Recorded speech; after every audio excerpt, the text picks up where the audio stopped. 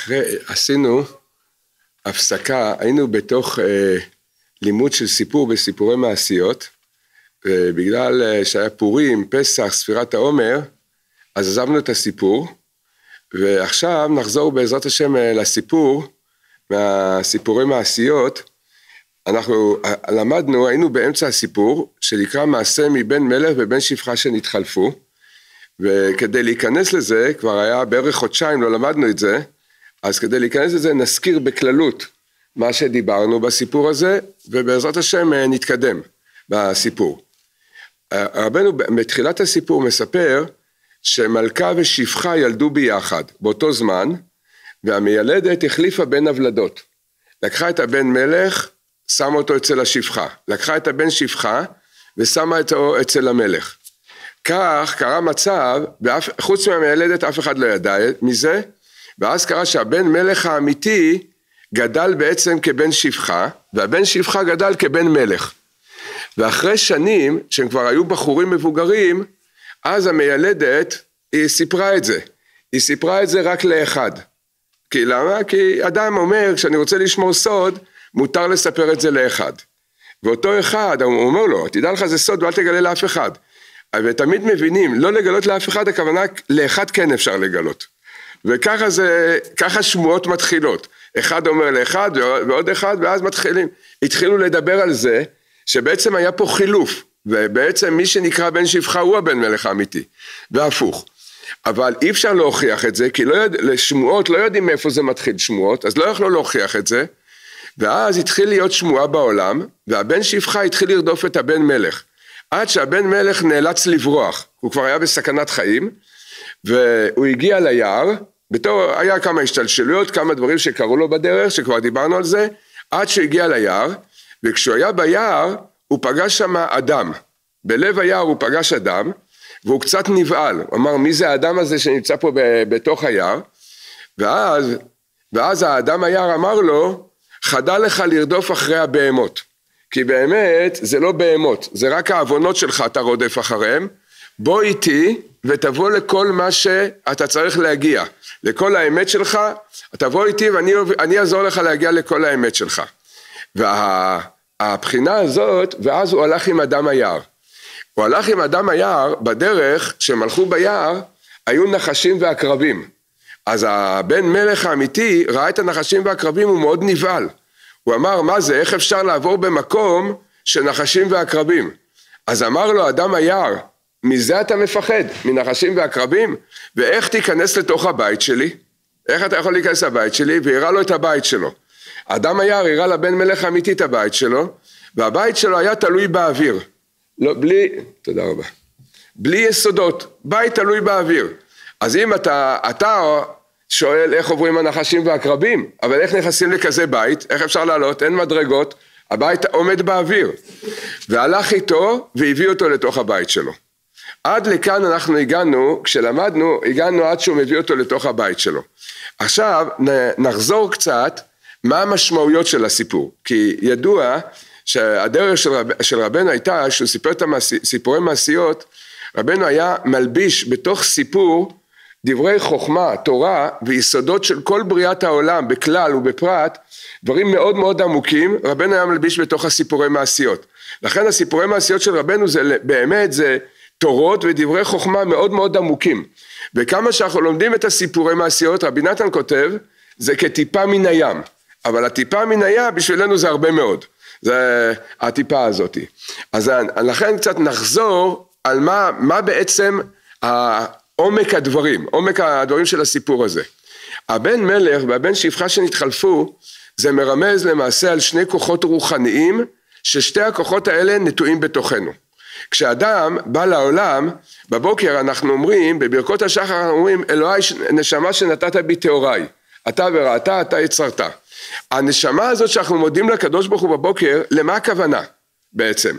אז כתוב הרבה בספרים הקדושים שזה הנשמה האלוקית. כל יהודי יש לו נשמה שהיא חלק אלוקה ממעל.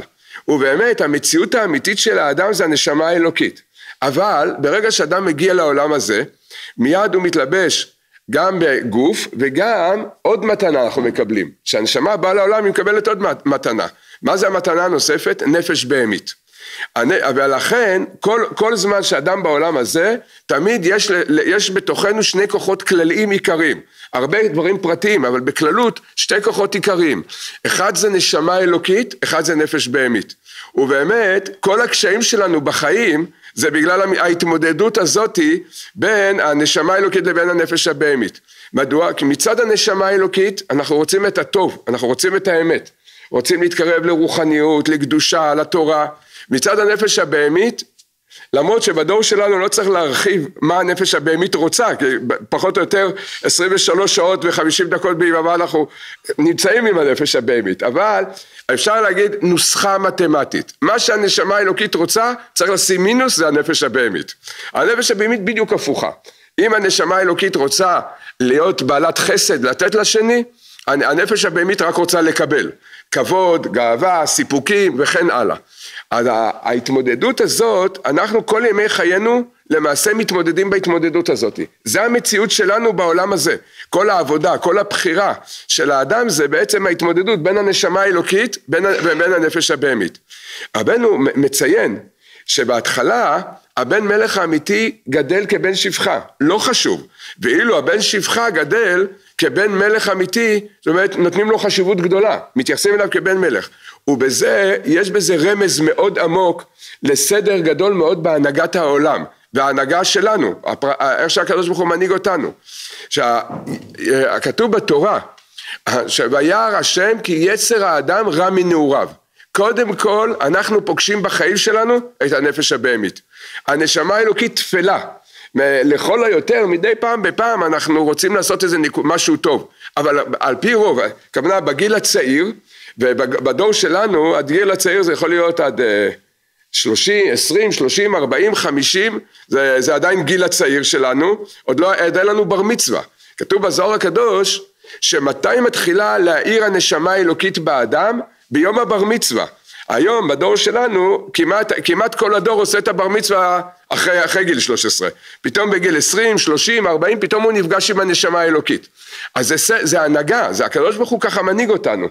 וזה הבחינה שהבן שפחה, שזה הנפש הבהמית, היא מקבלת את החשיבות ב, ב, במציאות שלנו בעולם לפני הנשמה האלוקית. פירוש הדבר שרבנו אומר, רבנו אומר שקודם כל האדם לומד להכיר, לחוות להרגיש בתוכו את הנפש הבהמית. קודם כל אנחנו חיים את המציאות של הנפש הבהמית.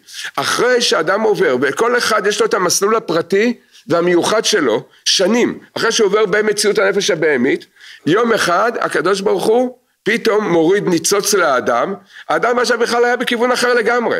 הרצונות שלו היו אחרים לגמרי, השאיפות שלו, החלומות שלו היו בכלל אחרים לגמרי, פתאום הקדוש ברוך הוא מוריד לו ניצוץ בנשמה, האדם פתאום מגלה, רגע, מי אני בכלל? אני, באמת זה מה ש... יש אחד שיש לו מסלול להיות סגן ראש הממשלה. אחד רוצה להיות מיליונר, מיליון דולר בעובר ושב. אחד רוצה להיות זמר, שחקן בהוליווד. אחד רוצה להיות במסיבות טבע. כל אחד יש לו את המהלכים שלו. וברוך השם, יהודי, לכל יהודי יש מסירות נפש, רצים במסירות נפש ליעדים האלה. פתאום באמצע המרוץ הזה, באמצע המרוץ הזה, הקדוש ברוך הוא שולח ניצוץ לאדם אדם מסובב את דרכו, פתאום הולך מחפש מי אני באמת, מה אני רוצה בעצם מהחיים שלי. פתאום אדם מתעורר בתוך המהלך הזה. זה כל המעשה של הבן מלך והבן שפחה שנתחלפו. היסוד שלו זה הבירור, שאנחנו בתוכנו עוברים בין, בין, בין, בין מי אנחנו, הכוונה מי שולט בתוכנו, מה אנחנו באמת רוצים. ואנחנו רואים הרבה פעמים, אדם כבר מבין בשכלו שהאמת זה השם, זה התורה, השם אמת, התורה אמת, משה אמת וכן הלאה, ועם כל זה הנפש הבהמית לא מוותרת, הבן שפחה שבתוכנו הוא לא מוותר. אדם הרבה פעמים רואים, אדם יוצא מלימוד, יוצא מתפילה, יוצא מהתבודדות, היה אצל רבנו, ויכול להיות שמיד אחרי זה מיד אחרי זה הוא יכול ללכת לאיזה פאב, זה, זה, זה ברגע אחד יכול לקרות כל הדבר הזה, בפרט בדור שלנו. רבנו אמר, ידוע הדיבור של רבנו, שרבנו פעם ראה בת חן בחתונה, שהיה לובש בגדים של רב, בגדים של כומר, הוא עשה כזה הצגה. כשרבנו ראה את זה, אז הוא אמר, ככה זה האדם בדורות שלנו. פעם מלאך, פעם גלח. גלח ביידיש זה כומר. זה, זה משתנה במהירות עצומה, ורואים איך כל הדור עובר את, ה, את הבירור הזה. אז כל הסיפור זה למעשה מה העצות ומה הדרך, איך זוכים להאיר את הבן מלך האמיתי. וזה למעשה כל המהלך של הסיפור שרבנו מספר. את ה, להעיר את הבן מלך אמיתי הכוונה לזכות לשלמות של התחברות, התקשרות עם הנשמה האלוקית, שהיא תאיר בנו. אז הדבר הראשון שרבנו מספר, היה פה כמה, כבר עברנו כמה שלבים, הוא פגש את אדם היער. לפני חודשיים דיברנו על מי זה, מי זה אדם היער, הכוונה על מה זה רומז אדם היער בסיפור. אז שאדם היער עורר אותו, הוא אמר לו, מה שאתה חושב שיש פה בהמות שאתה צריך לרדוף אחריהם, זה לא בהמות, זה העוונות שלך. כבר הוא מעורר. לכן, אומר רבנו, אדם היער מרמז על הצדיק.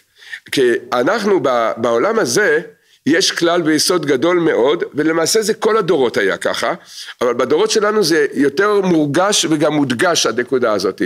אנחנו לא יודעים איך להסתדר באמת מבחינה רוחנית, בלי שיהיה איזה צדיק אחד, שתיים, אולי יותר, שינחו אותנו וילמדו אותנו איך להתמודד התמודדות נכונה עם המציאות שלנו.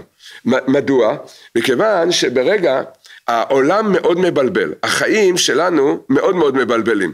זה אדם, אה, אדם היום, היום הוא רואה משהו, מבין משהו, מחר בבוקר הוא קם עם מוחים חדשים לגמרי. פתאום הכל משתנה, הכל מתהפך. לכן, מכיוון שאנחנו נמצאים, זה העולם הזה, הרמח"ל, אומר שזה נקרא גן המבוכים. יש מבוכות מאוד גדולות, בלבולים מאוד גדולים, אז אומר הרמח"ל, ויש אנשים שעברו את כל המבוכים, הם יכולים להדריך אותנו, וזה נקודת הצדיק. והאדם היער בסיפור, זה מרמז על העניין של הצדיק. ו, ושכולנו בעצם, כל אדם חייב הדרכה, הכוונה, כדי לתת לנו כלים, הבנות ועצות, איך אנחנו בעצם מתמודדים עם המציאות ש, שאנחנו נמצאים בה. יש פה שאלה, מדוע רבנו, ולכל מושג שרבנו משתמש, יש סיבה. מדוע רבנו קורא לצדיק אדם היער?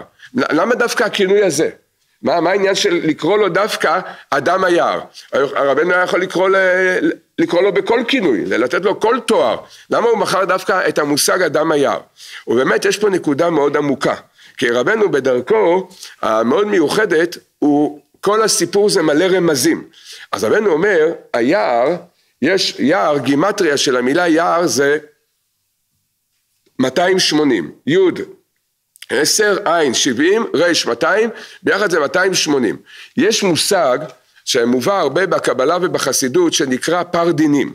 המספר 280 זה מרמז על הנהגה, על סדר הנהגה שלם של הקדוש ברוך הוא, שנקרא פר דינים. מה זה ההנהגה של פר דינים?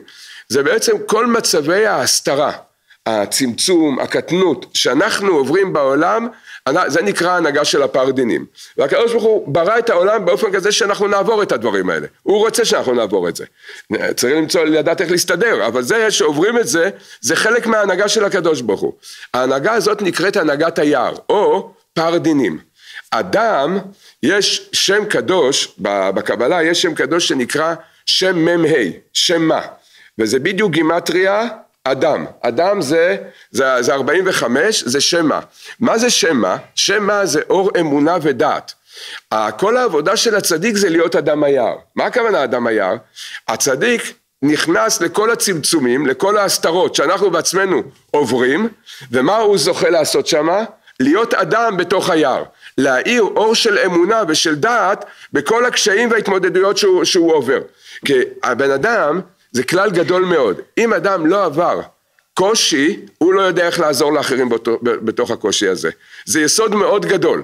זה אי אפשר, אי אפשר לעזור לבני אדם שעוברים התמודדויות מסוימות, אלא אם כן עוברים את אותן התמודדויות ומצליחים לעמוד בזה ולברר אותם. לברר אותם הכוונה, למרות שעכשיו האדם נמצא, הצדיק נמצא בהסתרת פנים. כשהוא נמצא בהסתרת פנים זה כפשוטו, הוא עובר קשיים גדולים מאוד, הוא עובר התמודדויות גדולות מאוד, אבל הוא זוכה להאיר אור של אמונה ודעת בתוך ההתמודדות הזאת, בתוך המציאות הזאת. עכשיו הוא יכול לעזור לכל יהודי שעובר את המקום הזה. זה כלל גדול מאוד. אם אדם לא עבר מציאות מסוימת, בסדר, אולי הוא לא צריך לעבור, אבל הוא לא יכול לעזור למי שעובר שם. לכן, מכיוון שהצדיק צריך לעזור לנו, לתת לנו כלים, עצות, ולהאיר לנו את הדרך שאנחנו נמצאים, הוא לא יכול לעשות את זה בלי שהוא בעצמו יעבור את הדברים האלה. וכל מה שאנחנו עוברים, הוא גם כן חייב לעבור את זה. כמו שהגמרא במסכת עבודה זרה אומרת, לא נכשל דוד אלא להורות תשובה ליחיד. מה הכוונה? דוד היה בפסגת העולם, הכי קרוב לקדוש ברוך הוא, זה נשמה של אה, מלכה משיחה, והיה צריך לעשות, לעשות איזה בירור, הקדוש ברוך הוא רואים, כביכול, הקדוש ברוך הוא לא ריחם עליו, שלח אותו וזרק אותו לביצה הכי עמוקה, והיה עם אישה בדרך ש... זה לא היה עבירה על פי התורה, אבל בטח זה לא, זה לא דרך שדוד המלך, צדיק גדול, יהיה במצב כזה. אומרת הגמרא, למה זה קרה לדוד המלך? מה הסיבה? אומרת הגמרא, לא נכשל דוד אלא להורות תשובה ליחיד. מה זה להורות תשובה ליחיד? כל יהודי, עד שיבוא משיח צדקנו, שייכשל בכאלה ניסיונות, מהכוח של דוד המלך הוא יכול להחזיק מעמד. הוא, יכול, הוא יקבל כוח מדוד המלך לעבור את כל הניסיונות שיש בעולם. כי אם דוד לא היה עובר את זה, לא היינו יכולים לעבור את הניסיונות שלנו. וככה זה כל צדיק גדול, עובר את הניסיונות שאנחנו צריכים לעבור, אז עכשיו הוא יכול להעיר לנו. הוא מבין אותנו, הוא, הוא מבין את האדם שנמצא במקום הזה, כי ברגע שאדם לא מתנסה במציאות מסוימת, הוא לא יכול להבין בן אדם ש, שנמצא בתוך המציאות הזאת. זה כלל, כלל גדול מאוד בחיים. עכשיו ככל, מכאן יוצא דבר נורא מאוד, ככל שהוא צדיק יותר גדול, ויותר צריך להעיר ליותר נשמות, הוא חייב לעבור את כל מה שהנשמות האלה עוברות. כי הוא לא יוכל לעזור להם אחרת. הוא, הוא, לא, הוא, לא, הוא, לא, הוא לא מבין את המקום הזה. אז לכן הצדיק נקרא אדם היער, כי כמו שאמרנו אדם זה אור מה? זה אור של אמונה ודעת בתוך היער, בתוך הצמצומים, בתוך הקשיים, ואז הוא מאיר מיד לבן מלך האמיתי שמבולבל בדרכו, הוא מיד מאיר לו. הוא אומר לו, דבר ראשון, הוא אומר לו פה יסוד. הוא אומר לו, יסוד גדול, הוא אומר, מה שאתה רודף אחרי בהמות, זה לא בהמות, זה הבנות שלך. אומר, רבנו פה רומז רמז מאוד גדול. לפעמים אדם מרגיש שכל החיים מאוד לחוצים, דחוקים, יש לי קושי בפרנסה, יש לי קושי עם האישה, עם הילדים, עם ההורים, עם הסבא והסבתא, אחר כך עם הנכדים, עם הדודים, עוברים כל מיני התמודדויות וקשיים, אנחנו עוברים כל מיני התמודדויות וקשיים בחיים. אומר רבנו, אומר רבנו, הצדיק מגלה לנו, תדע לך, זה לא שבאמת הדברים קשים, זה אתה לוקח אותם קשה. וזה דבר מאוד גדול, זה, זה לפעמים, לא לפעמים, הרבנו אומר פה רמז מאוד גדול, באמת באמת הכל הקשיים זה איך אדם מקבל את הדברים, לנו נדמה שהקשיים הם מבחוץ, ואומר רבנו לא, הקשיים הם לא מבחוץ, הקשיים רק תלויים באדם, כל השאלה, כל הנקודה העמוקה פה זה שאלה של אופטיקה, זה בעיה של אופטיק, אופטיקאי, פשוט צריך ללכת לאופטיקאי שיודע להתאים משקפיים נכונות לעיניים.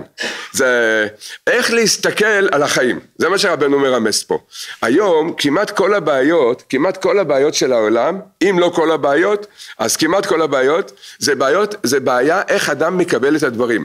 עולם הרגש שלנו חי, תוסס, כל הזמן האדם נפגע, עצוב, עכשיו הוא כועס, עכשיו הוא מקפיד, עכשיו העליבו אותו, פה, פה דיברו, כל הזמן אנחנו בעצם, אם נתבונן, יותר ממה שאנחנו עוברים עם התמודדויות מבחוץ, אנחנו עובדים, עוברים התמודדויות עם עצמנו, עם איך שאנחנו מקבלים את הדברים. לכן, אחד הדברים הראשונים שה, שמתקרבים לצדיק, הצדיק מלמד אותנו יסוד מאוד גדול. איזה משקפיים לשים על העיניים, איך להסתכל בעצם על החיים. איך להסתכל על עצמנו, איך להסתכל על האנשים שקרובים אלינו, איך להסתכל על דברים שעוברים, שעוברים, שעוברים עלינו. ולפני שנה וחצי, אז אה, מישהו שאל אותי, הוא פעם ראשונה שנסע לרבנו, זה היה לפני ראש השנה, לא השנה, וזה. אז אמר לי, תגיד, מה, מה, על מה לכוון בתפילות באומן? אמרתי לו, תשמע, אתה נוסע עכשיו למכון אופטיקה הכי גדול בעולם. עכשיו אתה נוסע, רבנו זה האופטומטריסט הכי מעולה בעולם, אתה הולך לתאם משקפיים. אמר לי, מה משקפיים? אני יכול לעשות פה בחולון משקפיים. צריך לנסוע לאומן בשביל משקפיים? אמרתי לו, כן. המשקפיים שרבנו ייתן לך, זה לא המשק... אין בחולון כאלה משקפיים. אחרי שתהיה שם, אתה יכול ללכת לאופטיקאי פה בחולון. קודם כל אתה צריך להיות שמה. אז הוא אמר לי, מה הכוונה? אמרתי לו, הכוונה היא שרבנו נותן לנו דעת איך להסתכל נכון על המציאות שאנחנו עוברים. פה זה מתחיל כל התיקון של האדם. כי ברגע שאדם לא יודע להסתכל נכון על הדברים, האדם לא, יצ... לא יצליח לצאת מהדיכאונות שלו. זה יום אחד אדם היו לו הרבה בעיות, יום שני בשבוע פתר את כל הבעיות. הלך לישון רגוע בלילה, ב-12 בלילה הלך לישון רגוע, אמר ברוך השם, הכל הסתדר. מה הסתדר? הוא קם ביום שלישי בבוקר, קיבל פתקה עם עשר בעיות חדשות. זה היום כל הזמן מתחדש סביבנו דברים, לכן זה מאוד, היסוד הראשון זה איך אנחנו מסתכלים על הדברים, לדעת לא להיעלב, לא להיפגע, הרבה פעמים מדברים איתנו לא יפה, יש כאלה אנשים שלא תמיד מדברים הכי יפה, פוגעים בנו. במקום להיפגע, תחשוב, תגיד מסכן שהוא מדבר ככה. זה, זה השבוע הייתי בזה במאה שערים באיזה, ברכב, אז אה, היה שם עיכוב של 15 שניות. מישהו שם נכנס לכאלה עצבים, זה אי אפשר לתאר. זה, באמת זה 15 שניות היה, הוא נכנס לעצבים, אז מישהו שהיה איתי התרגז עליו, אמר לי, תראה איזה התנהגות. אמרתי לו, מה אתה מתרגז עליו? תרחב עליו, מסכן. תחשוב, יהודי בשביל 15 שניות איבד את האיזון הנפשי שלו, צריך להתפלל עליו. לא, לא לכעוס עליו. מסכן שהוא הגיע למצב הזה. אז הרבנו אומר, תדע לך, מה שאתה עובר זה בגלל התיקונים שאתה צריך לעבור. ותלמד להבין בעולם הזה, העולם הזה כתוב, מה, זה, מה מהות העולם הזה? כשהיינו צעירים חשבנו שהעולם הזה זה גן עדן, אבל אה, למה, למה חשבנו שזה גן עדן? כי לא קראנו את שני הפסוקים הראשונים בפרשת בראשית. קודם כל, בראשית ברא אלוהים את השמיים ואת הארץ. זה ההתחלה, זה הסיפור. מה כתוב בפסוק השני? והארץ הייתה תוהו ובוהו. תדע לך פה זה תוהו ובוהו, זה לא יעזור כלום. זה לא היה אחד מבריאת העולם שלא עבר את התוהו ובוהו הזה. זה... מה? לא, כבר בפסוק הראשון, סליחה, כבר בפסוק השני כתוב, והארץ הייתה תוהו ובוהו, וחושך על פני תהום, ו... רוח אלוהים מרחפת על פני המים. אדם רוצה להתמודד עם התוהו ובוהו שלו, זה להתחבר עם הרוח אלוקים שמרחפת על פני המים. ויהי אור זה אחר כך, אבל קודם כל להתחבר עם רוח אלוקים. מה זאת אומרת להתחבר? מה הכוונה ברוח אלוקים מרחפת על פני המים? אנחנו בארץ, אנחנו בתוהו ובוהו. תדע לך, תתחבר ותתקשר עם רוח אלוקים שמרחפת פה. יש פה רוח אלוקים שמרחפת, מה הכוונה? הכל זה ממנו, הכל זה לטובה והכל ממנו.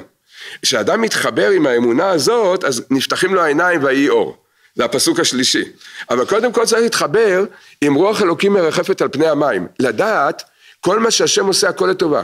שימו לב, דוד המלך, יש צדיק יותר גדול מדוד המלך, מלכה משיחה.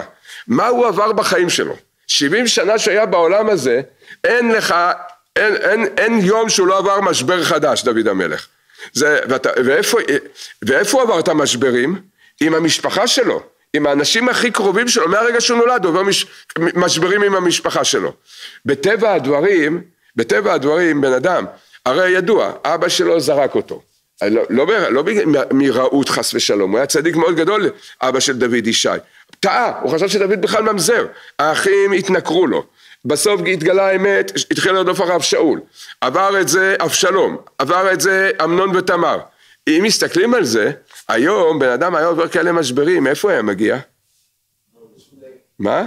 זה במקרה הכי הכי מתון זה תרופות הרגעה חריפות, שלוש פעמים ביום תרופות הרגעה, רק מה, לקבל את הדברים האלה. מה אומר דוד המלך? אלוקים שיר חדש השיר הלך. בנבל בכינור הזמרה לך. הוא הופך את הכל, למה הוא הופך את הכל? לניגונים. מה זאת אומרת לניגונים? איך אפשר לעבור משברים כאלה ולנגן ולשמוח ולקבל את זה באהבה. איך אפשר? רק כשאדם יודע, רוח אלוהים מרחפת על פני המים. כשאדם יודע, הכל מהשם והכל לטובה, והוא מתחבר עם הנקודה הזאת, שם הרפואה של האדם. משם נמשכים כל הרפואות, כל הרפואות של האדם. זה מה שהאדם היה, הצדיק מלמד אותנו, דבר ראשון זה קודם כל, איזה משקפיים נשים על העיניים, איך להסתכל על הדברים. לפני כמה זמן הייתי בבעיה של שלום בית, אז אה, שמה, הוא, הוא לא דיבר איתה יפה והיא לא דיברה איתו יפה, אז יצא, האישה יצאה, אז הבעל אמר לי, אתה רואה איך היא מדברת? אתה ראית איך היא מדברת? אמרתי לו, כן, ראיתי איך היא מדברת. אז הוא אומר, מה אתה אומר על זה? אמרתי לו, באמת, לפי האמת, צריך לעשות שעה התבודדות, להתפלל אליה, תסתכל, תראה איזה עצבנית, היא מסכנה, תראה מה עובר עליה, תרחם עליה, מה אתה כועס עליה? היא סובלת, היא מדברת איתך ככה, מהסבל, לא מאיזה, היא, היא רוצה לפגוע בך? אמרתי לו, הרי אתה, שכשרבים, הרי בכלל לא יודעים מה מדברים. מה, אנשים נעלבים, הרי בין כה וכה לא יודעים מה שמדברים. תשאל, אני אומר את זה מניסיון, תשאל אישה דק, 90 שניות אחרי שהיא אמרה משהו לבעלה, בתוך ככה הלהט, תשאל אותה, תגיד לה, מה אמרת לפני דקה וחצי? אני רוצה להגיד לכם תשובה בדוקה בכל מאה אחוזים מהמקרים. אתם יודעים מה היא תגיד? לא יודעת בכלל מה אמרתי, לא זוכרת כלום. בכלל מדברים בידיעה. זה, אז, אבל אנחנו לוקחים את כל, כל המקרים האלה, נעלבים ונפגעים, נכנסים לעצבות, נכנסים... זה המשקפיים שהצדיק מלמד את האדם, תבין, מה שאתה עובר זה מה שהשם רוצה שתעבור, זה מה שצריך לעבור. ואם השם רוצה את זה, הכל לטובה. מה, מה, מה, מה, למה, למה להתעצב מהדבר? אבל זה כל זה, במה זה תלוי? הכל זה תלוי בעצם איך אנחנו מסתכלים על הדברים.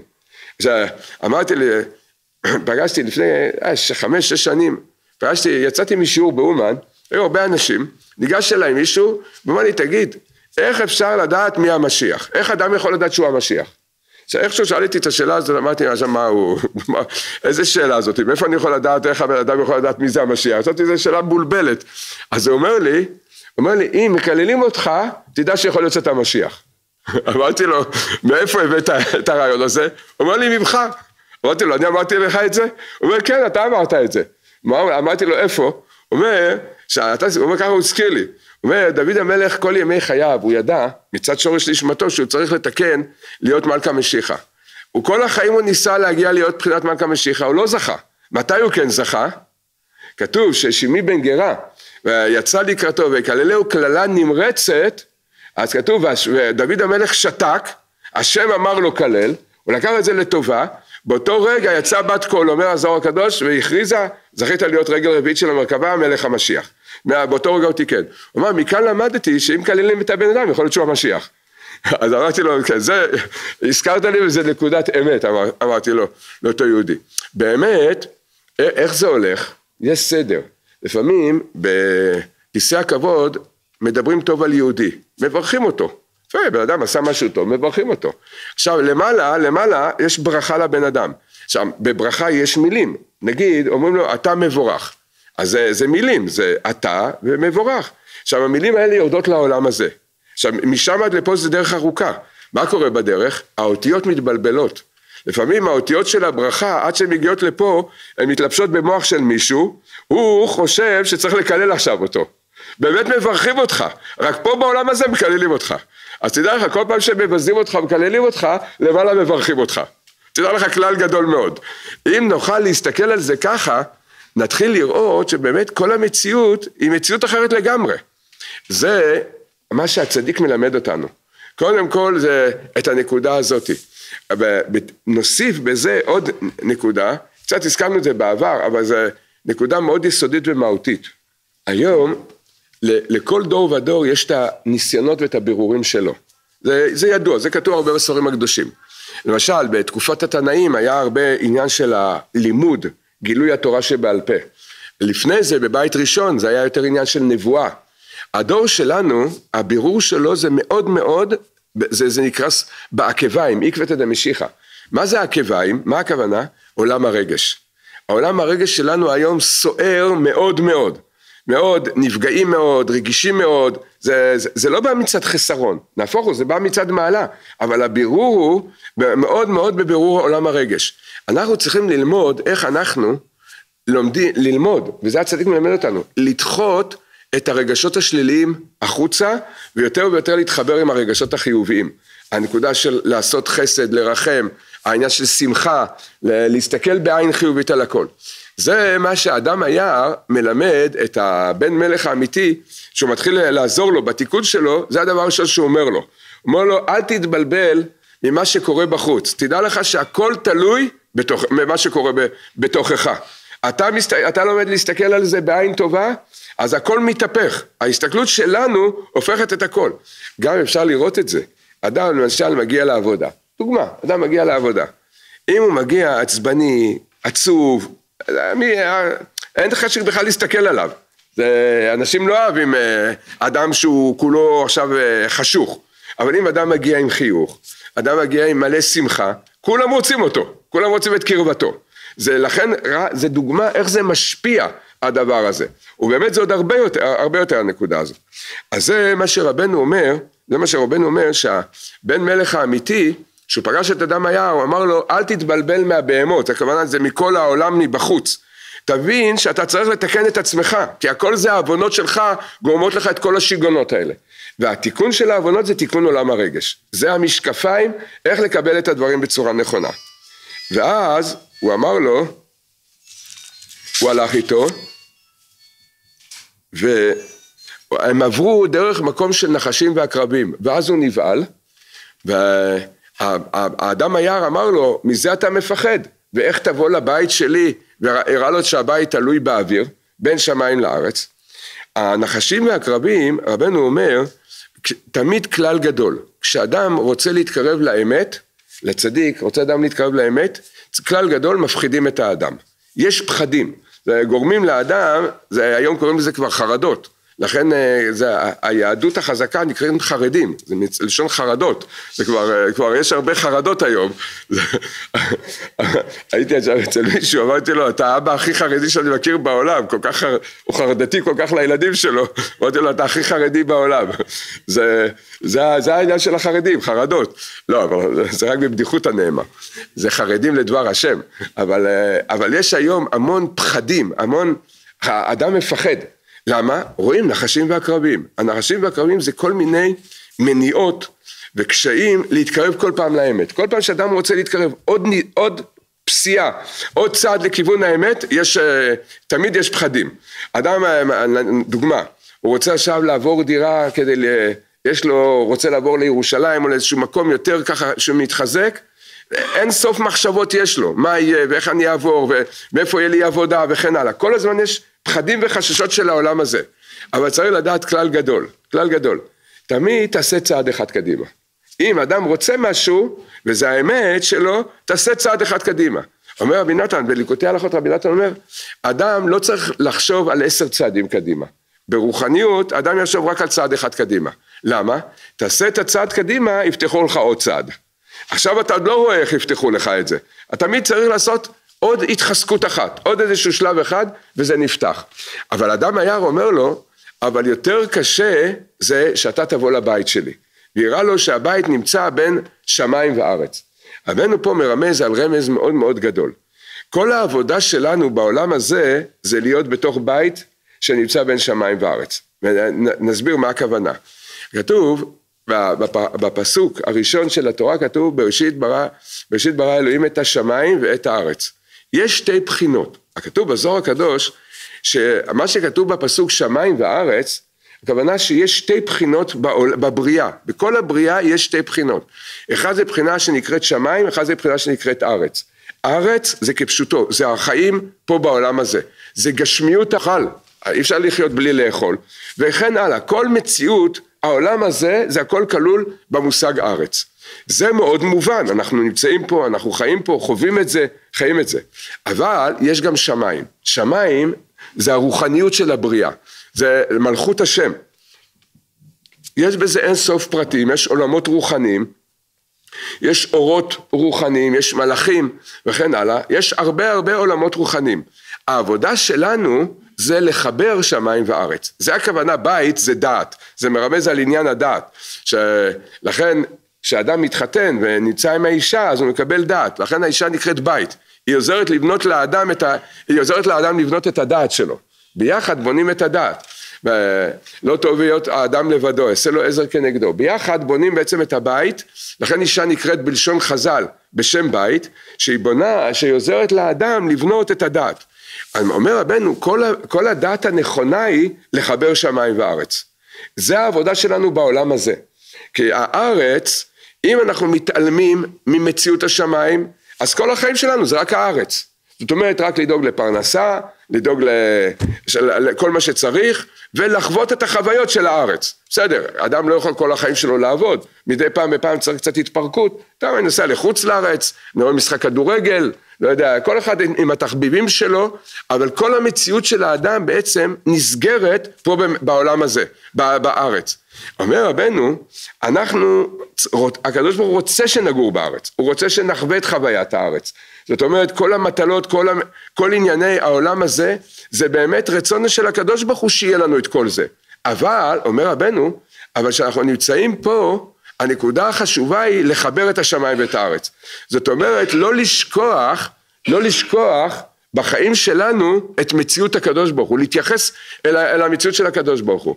ולהתייחס למציאות של הקדוש ברוך הוא, יש לנו שתי כלים, שני יסודות. אחד זה אמונה והשני זה התורה. על ידי התורה והאמונה אנחנו למעשה מגלים את הקדוש ברוך הוא בעולם הזה, מגלים את מלכותו. לכן יש מדרש שהבעל שם טוב ותלמידי הבעל שם טוב הרבו להביא אותו.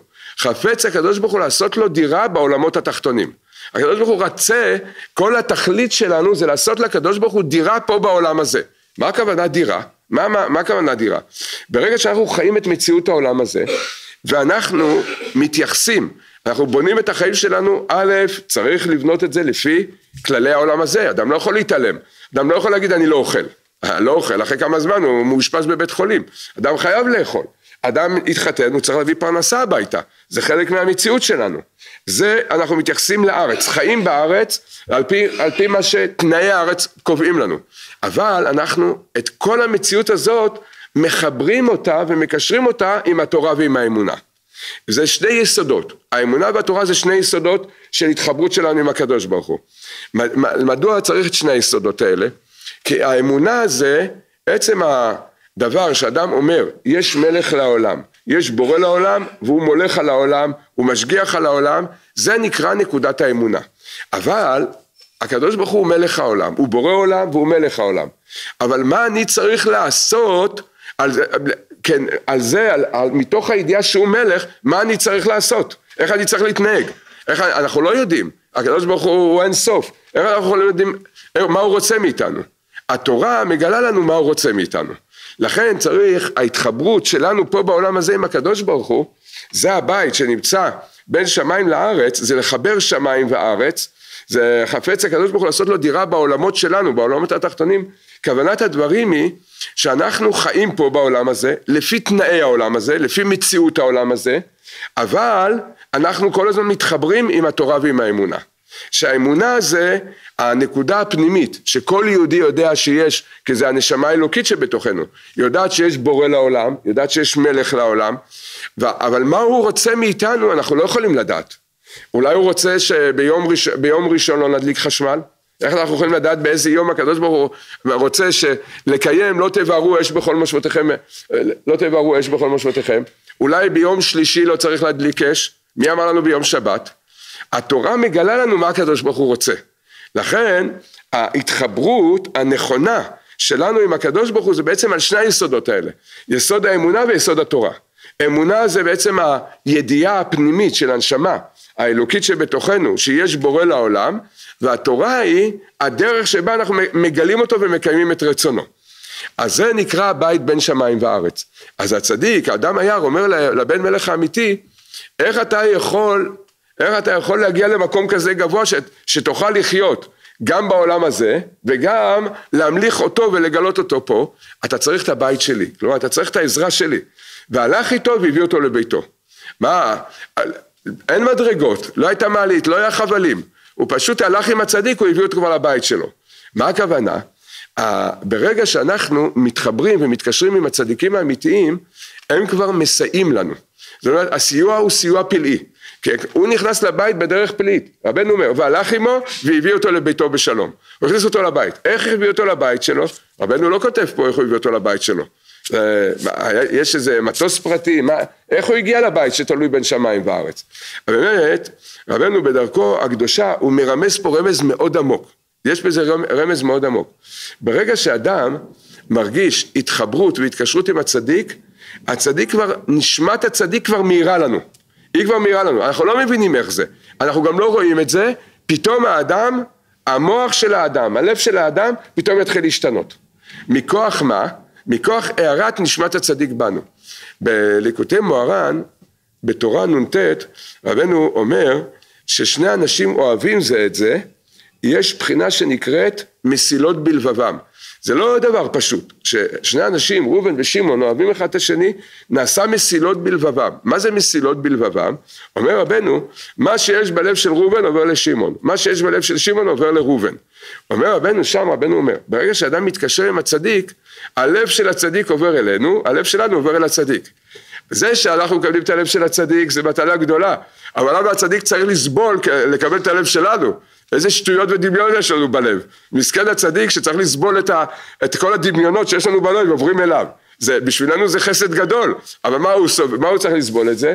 באמת זה קושייה, אבל הוא מוכן לקבל את זה על עצמו. הוא מוכן לקבל על עצמו, לסבול את כל הדמיונות שיש לנו בלב. אז הוא באמת זה גם בין שני חברים, בין שני אנשים. תמיד זה כלל מאוד מאוד גדול, שאדם תמיד יתחבר, אפילו נפשית, תמיד עם דברים, עם אנשים חיוביים. בפרט אם, אם הוא יכול להתחבר עם הצדיק, זה מעלה מאוד גדולה. לכן רבנו אמר, העניין הזה להגיד, הרי אני מקשר את עצמי. עם כל הצדיקים האמיתיים וכולי. מדוע? כי כשאדם אומר הרי אני מקשר את עצמי זה לא דבר פשוט. זאת אומרת שאדם אומר הדמות, האדם שאני רוצה להתחבר איתו ולהתקשר איתו זה הצדיק. וברגע שאדם מגלה את הרצון הזה מיד נעשה הבחינה שנקראת מסילות בלבבם. הלב שלו מתחיל להעיר לי. אבל זה שהוא צריך לסבול את הלב שלי זה כבר עניין שלו, זה, אבל הוא, הוא, הוא, מוכן לקבל לעצמו את המסירות נפש הזאת, שהוא סובל את הדמיונות שלנו שעוברים אליו. אבל, ולעומת זה, אם אדם בוחר דמות, דמות אחרת, יש כאלה למשל שמאוד מאוד אוהבים כדורסל, אין בעיה לאהוב כדורסל, אבל, אבל צריך להיזהר לא להריץ את הכדורסלן.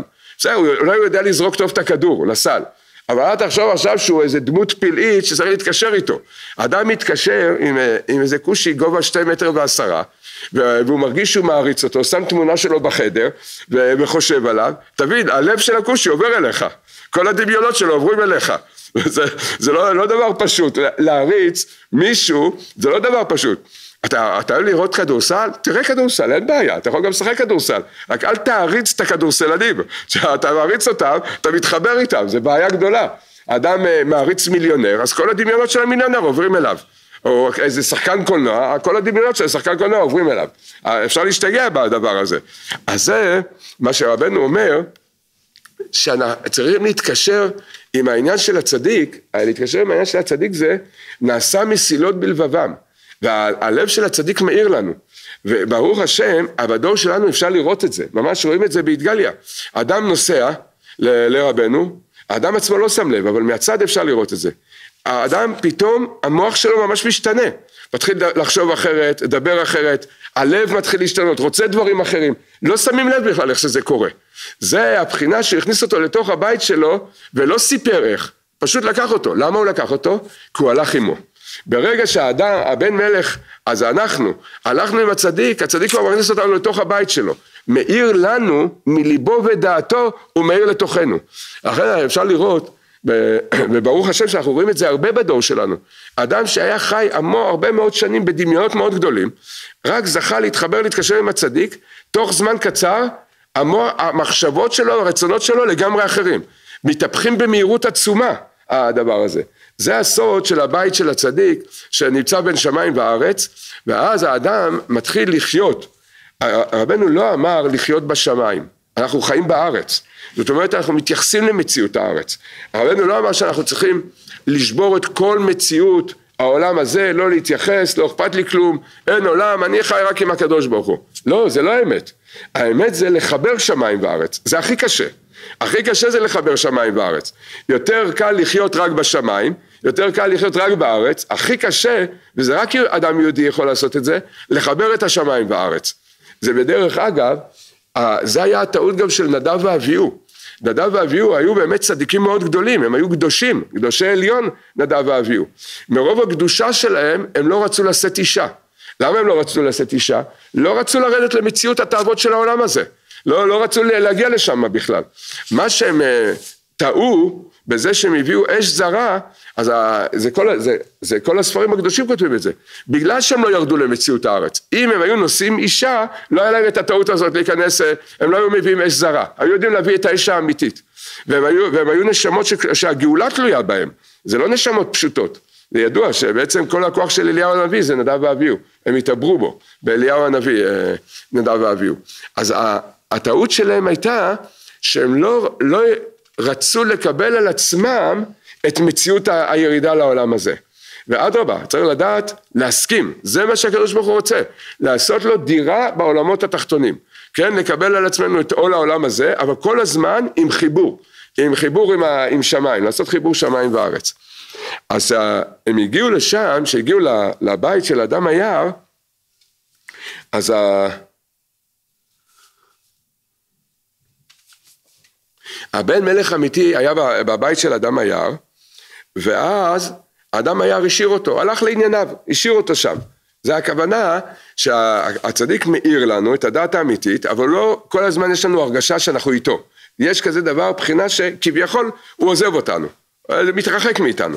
הוא נשאר שם לבד, הבן מלך האמיתי נשאר שם לבד בבית של אדם היער, ובלילה פתאום הוא שמע כל היער, כל החיות ביער שאגו. הארי היה שואג והעופות מצפצפים וכן כולם הומים בקולות. כל חיות היער היו הומים בקולות גדולים מאוד. בהתחלה, כשהוא שמע את זה, הבן מלך האמיתי הזדעזע מאוד, נבהל מאוד, והרבנו אומר ככה, ולא יכל להטות את אוזנו אל הכל מחמת הפחד. אבל אחר כך הטה אוזנו ושמע שכל הקולות האלה זה קול זמרה ונגינה נפלא מאוד מאוד, שהוא תענוג נפלא ועצום מאוד לשמוע זאת. שבכל התענוגים שבעולם כולם כעין ואינם נחשבים ובטלים לגמרי נגד התענוג הנפלא של הנגינה הזאת. והחליט אם כך אני נשאר פה, לא עוזב את המקום הזה. כזה מקום, כאלה תענוגים יש פה, יש פה את הניגונים ששום אה, זה, אין, אין להקה בעולם שיכולה ליצור כאלה, כאלה ניגונים, לא רוצה לעזוב את המקום הזה.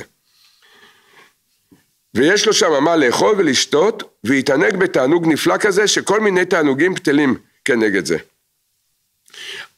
כשהגיע אדם היער, הגיע אדם היער, אז הבן מלך שאל אותו, ואמר לו, מה זה? שמעתי כאלה קולות מפחידים, ועכשיו ופתאום שהטאתי את אוזני, הבנתי, שמעתי שזה בעצם לא קולות מפחידים, זה הניגונים הכי נפלאים בעולם. מה זה? מה, מה, מה, מה המקור לניגון הזה? אמר, אז אמר לו אדם היער, החמה עושה מלבוש ללבנה. וכל החיות ביער אומרים, היות שלבנה עושה לנו טובה גדולה, שבלילה היא מאירה לנו, לפעמים אנחנו צריכים, אנחנו, אנחנו נעזרים באור הלבנה בלילה. אז והלבנה עושה לנו טובה גדולה, על כן הסכימו שיעשו ניגון חדש לכבוד הלבנה. וזה כל הנגינה שאתם שומעים, זה הניגון שכל חיות היער עושים ללבנה בשעה שהיא מקבלת מלבוש חדש מן, ה, מן החמה, ועל כן, ועל כן זה הניגונים ששמעת. ודאי שבלי שאנחנו מבינים, רק מרגישים, שלמעשה רבנו אמר בעניין של הניגון הזה, של המלבוש, למעשה רבנו גילה את כל סודות בריאת העולם, מלפני שהקדוש ברוך הוא ברא את העולם, ועד הגאולה ועד עוד, עוד אלפי שנים אחרי הגאולה. רבנו גילה פה. נתחיל לראות את זה לאט לאט קצת את הנקודה הזאת. דבר ראשון, רבנו אומר, לפעמים אדם שומע קולות, והוא נבהל מהקולות האלה. ואז, בהתחלה אדם לא יכול אפילו להקשיב, מרוב פחד הוא לא יכול להקשיב. אבל כשהוא קצת נרגע, אבל הוא מטה את אוזנו, פתאום מסתבר שכל הקולות האלה זה ניגונים הכי נפלאים בעולם. מה, מה, מה רבנו, מה עומק דברי רבנו? הקולות המפחידים, רבנו מרמז פה על עניין של ההנהגה, שאנחנו עוברים מציאות של צמצום, הסתרת פנים, קשיים והתמודדויות. ברגע שיש לנו קשיים והתמודדויות, דבר ראשון, מה התגובה של האדם? דוגמה, נוריד את זה הלכה למעשה. אדם, ברוך השם, יש לו משפחה ברוכת ילדים, עשרה ילדים יש לו, יש לו עבודה טובה, פרנסה מסודרת מאוד, שלושים שנה, שלושים שנה הוא עובד בעבודה הזאת. יום אחד הוא בא למקום עבודה שלו, בהפתעה, לא, לא אמרו לו שום דבר, אמרו לו תשמע, כל העסק שלנו בירידה מאוד גדולה, מחר בבוקר אין לך מה לבוא לעבודה. על המקום מקבל פיטורים. רגע, אבל אה, אני, מה זאת אומרת? יש לי עשרה ילדים בבית. ברגע שאדם מקבל כזאת הודעה, מה הדבר הראשון, ש... איך אדם, הדבר הראשון שאדם מגיב לזה? מה דוד המלך אומר? נפשי נבהלה מאוד. אדם נבהל, הוא שומע כאלה דברים, הוא נבהל. קורה חס ושלום איזה בעיה בתוך הבית רפואית, האדם בעצמו עובר לפעמים משברים. כל, כל המשברים של העולם הזה, ברגע שמתעוררים על האדם, התגובה הראשונה של האדם הוא נבהל. זה מה שאומר דוד המלך. נפשי נבהלה מאוד. שימו לב, נבהלה זה אותיות הלבנה. זה בהיפוך אותיות, זה, זה סוד מיעוט הלבנה, אנחנו נראה את זה, סוד מיעוט הלבנה. אז כל, יש הנהגה שנקראת, השורש שלה זה מיעוט הלבנה. הקדוש ברוך הוא אמר ללבנה, זה שורש נשמות ישראל, זה אור נשמות ישראל, לכי ומעטי את עצמך. מה זה לכי ומעטי את עצמך? לכי למיעוט, לכי לצמצום, לכי תרדי לעולם הזה לקשיים גדולים מאוד. אז התגובה הראשונה שלנו לזה, זה קודם כל אנחנו נבהלים. אבל כשדבר מתמיד, אז אה, יום ראשון אדם בבעלה, יום שני הוא גם בבעלה אבל טיפה פחות, יום שלישי עוד טיפ טיפה פחות, עוברים כמה ימים, אדם אומר רגע, פתאום הוא מיישב את הדעת, הוא מתחיל להסתכל מה, מה קורה פה. ככל שאדם זוכה להתבונן יותר במה שקרה פה, פתאום מתברר לאדם שבעצם כל הצמצום, כל ההסתרה הזאת, כל הקושי הגדול מתהפך להיות הניגון והנעימות הכי גדולה בעולם. ואפשר לראות את זה, אפשר לראות את זה, את הבחינה הזאתי, שכמעט כל ההצלחות והעליות הרוחניות של האדם מתחילות מאיפה? ממשברים. וזה, עד שלא שוברים אותנו אנחנו לא יכולים לעלות. שוברים את הבן אדם, זה היה לפני כמה זמן איזה יהודי שהסתובב הרבה בעולם ועשה קצת בלאגן בעולם, כל מיני מזוודות, חומרים, אה, מישהו סיפר לי, הוא העביר אה, זה, הוא אומר הוא כבר עבר את המאות קילו בהעברת חומרים בכדור הארץ. אה, לא רואה כלום, שום דבר בעיניים, בן אדם. תפסו אותו באיזשהו מקום בעולם, ישב שם בסך הכל חודשיים בכלא. החודשיים האלה שברו את כל הרוח שלו. כל העזות שהייתה לו, הכל נשבר שם. ואז הוא דיבר עם חבר שלו מהכלא, ואני בקשר עם החבר שלו, מה הוא אומר לו? אומר לו ככה, הוא אומר לו, פה אני רואה שיש בורא לעולם, יש את השם, אני רוצה לחזור בתשובה, אני רוצה להתקרב. הוא אומר לו מהכלא, הוא אומר לחבר שלו, תראה, אני יודע שעוד מעט אני אשתחרר. כשאני אשתחרר אני יכול לשכוח את מה שאני אומר לך עכשיו. תזכיר לי שאמרתי את הדברים האלה. עכשיו, הוא כבר השתחרר ברוך השם, עכשיו לוקחים פטישים ודופקים לו על הראש, תזכור מה אמרת. תזכור מה דיברת. אבל כל ההתעוררות, כל ההתעוררות של האדם זה, התחיל מהנקודה הזאת של השבירה. השבירה זה הקולות המפחידים, הקולות, הקולות המפחידים. אבל צריך לדעת שכל המשברים שאנחנו עוברים, בעצם זה הטובות הכי גדולות שהקדוש ברוך הוא עושה איתנו. זה כתוב, הפסוק האחרון שבתורה, לכל היד החזקה אשר עשה משה לכל בני, לעיני כל בני ישראל. רש"י כותב, מה זה לעיני, על מה מרמז, מה זה היד החזקה לעיני כל בני ישראל? מה עשה משה רבנו לעיני כל בני ישראל, שנקרא היד החזקה? מה? שבירת הלוחות. זה הרש"י כותב, משה רבנו שבר את הלוחות. שימו לב, דבר מעניין, הפסוק האחרון בתורה, ידוע התורה זה כל סודות הבריאה. שימו לב, מה הפסוק האחרון של התורה? שבירת הלוחות. והלוחות זה הלב. אז זאת אומרת שהפסוק האחרון של התורה זה שבירת הלב.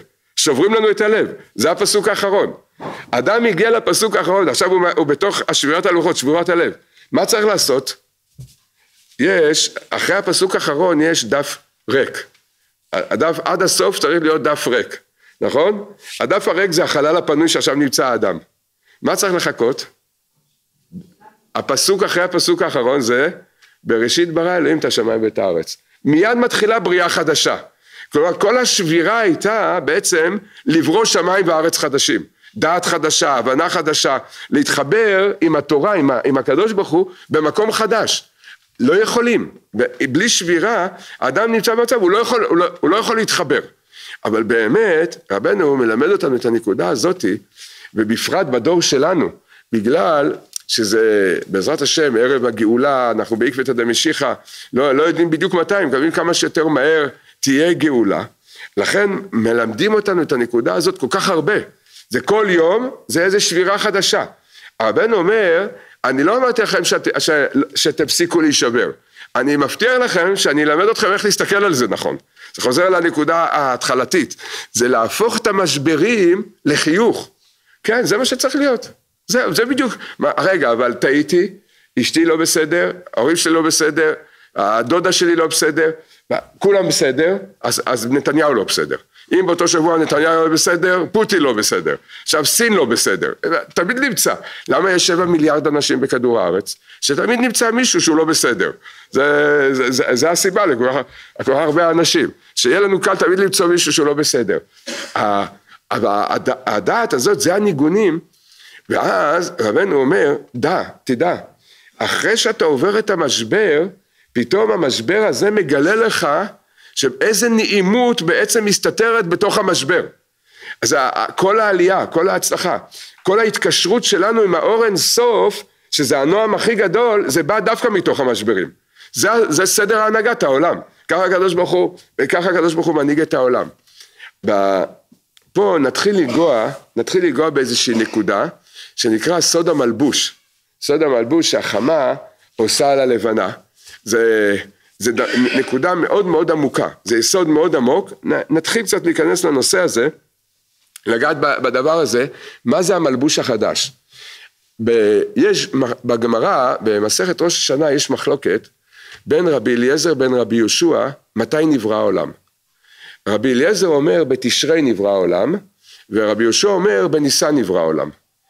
וזאת אומרת שאנחנו בראש השנה, שזה א' בתשרי, מה אנחנו אומרים בתפילה של ראש השנה? היום הרת עולם. זאת אומרת בפשטות, בצורה הפשוטה, אנחנו אומרים היום נברא העולם. זאת אומרת, לכאורה, לפי מי אנחנו סוברים? כלומר, לפי רבי אליעזר. אבל יש כזה דבר שנקרא למנות את התקופות. תקופה זה מושג שכל שלושה חודשים משתנה איזה סדר בעולם שזה לפי תנועת החמה. זה נקרא, יש מושג שזה נקרא חמה, שארבע פעמים בשנה זה קורה, יש לזה דברים מאוד עמוקים אחרי, מאחורי זה, ויש תקופת תשרי, תקופת טבת, תקופת אה, ניסן ותקופת תמוז. ויש זמן שהחמה משנה את הזווית ואת התנועה שלה סביב כדור הארץ, וזה הסיבה שיש לנו ארבע עונות. מהתקופות יש ארבע עונות של חורף, אה, אביב, אה, קיץ וסתיו. זה, זה השורש של הדבר. כי תנועת השמש היא משפיעה למעשה על המזג אוויר שיש בכדור הארץ, בעולם. אומר, אומרת הגמרא, אנחנו אומרים שלפי בריאת האדם, אנחנו מונים לפי רבי אליעזר, שבתשרי נברא העולם. לתקופות אנחנו מונים כרבי יהושע. מה זאת אומרת? מה זה, איזה, איזה מין פשרה זאת? או שהעולם נברא בתשרי, אז תעשה את הכל לפי תשרי. או שתעשה, תגיד בניסן, והכל לפי ניסן. איך אתה יכול להגיד, זה הרי ממה נפשך? או שהעולם נברא בתשרי, אז הכל לפי תשרי. או בניסן, הכל לפי... איך אפשר לחלק את זה? מה, העולם, העולם חצי נברא בתשרי, חצי נברא בניסן? איך, איך מסתדרים עם הדבר הזה? אז יש תוספות במסכת ראש השנה, שהתוספות אומרים, הוא מגשים את אותו קושייה אבל מכיוון אחר. יש פיוטים, למועדים יש פיוטים, ואחד מגדולי גדולי מחברי הפיוטים קראו לו רבי אליעזר הקליר, הוא היה מתקופת התנאים. אז ה, יש לו פיוט, יש לו פיוט לראש השנה, היום נברא העולם. יש לו פיוט לניסן, היום נברא העולם. אומרים התוספות, מה זה? מה, מה, מה, מה, קורה פה? איזה, איזה סדר, מה, איך עושים סדר בבלגן הזה? אומרים התוספות יסוד מאוד גדול. אלו ואלו דברי אלוקים חיים. באמת רבי אליעזר צודק ורבי יהושע צודק. איך, איך, זה, איך זה, איך שניהם צודקים? אומר, אומרים התוספות, בשם רבנו תם, אומרים ככה, במחשבה נברא בתשרי, בתשרי, במעשה נברא בניסן. זאת אומרת, רבי אליעזר אמר שנברא העולם בתשרי, הכוונה במחשבה, ובמעשה נברא העולם בניסן. לכן, על פי זה אומרים, מה שאמרנו קודם, שאנחנו אומרים ב, ב, ב, בתפילות של ראש השנה, אנחנו אומרים היום הרת עולם, אז מדייקים שזה מסתדר עם דברי התוספות. למה? התוספות אומרים, לא, לא כתוב היום נברא עולם, היום הרת עולם. הרת, מה זה הלשון הרת?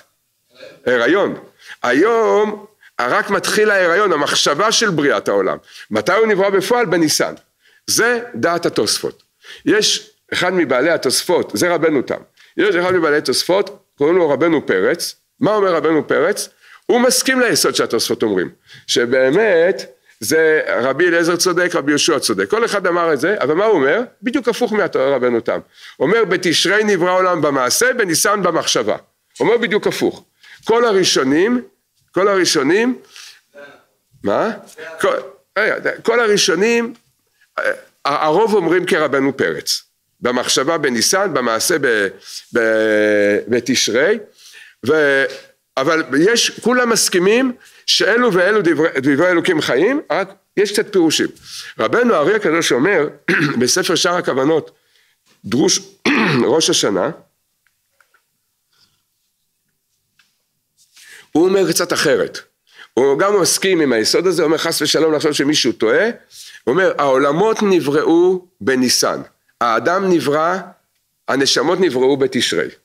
יש עוד פירושים, והמגוון הדברים פה, המגוון הדעות להסביר מה אמר רבי אליעזר, מה רבי יהושע, כל הדעות שאפשר לחשוב יש בה, במפרשים. עד שבעצם לא מצאנו ידיים ורגליים. לעשות סדר בכל זה. כי כל דעה שיש, יש דעה מנוגדת אליה. וגם, גם הדעות עצמן לא מובנות. מה זאת אומרת? העולמות נבראו בניסן, והנשמות נבראו בתשרי? מה זאת אומרת? הקדוש ברוך הוא ברא את העולם, אחר כך הוא ברא את האדם חצי שנה אחרי זה, אבל כתוב בתורה אחרת. ביום א', בראשית, ויאמר אלוקים יהי אור ויהי אור. ויאמר אלוקים יהי רקיע בתוך השמיים ויהי רקיע. מתי הוא ברא? זה לא כתוב את זה בפרשת בראשית? יום ראשון, שני, שלישי, באותו יום שישי נברא אדם. איך אתה אומר שהעולמות נבראו בניסן והאדם נברא בתשרי? איך זה מסתדר? הרי התורה אומרת לנו במפורש.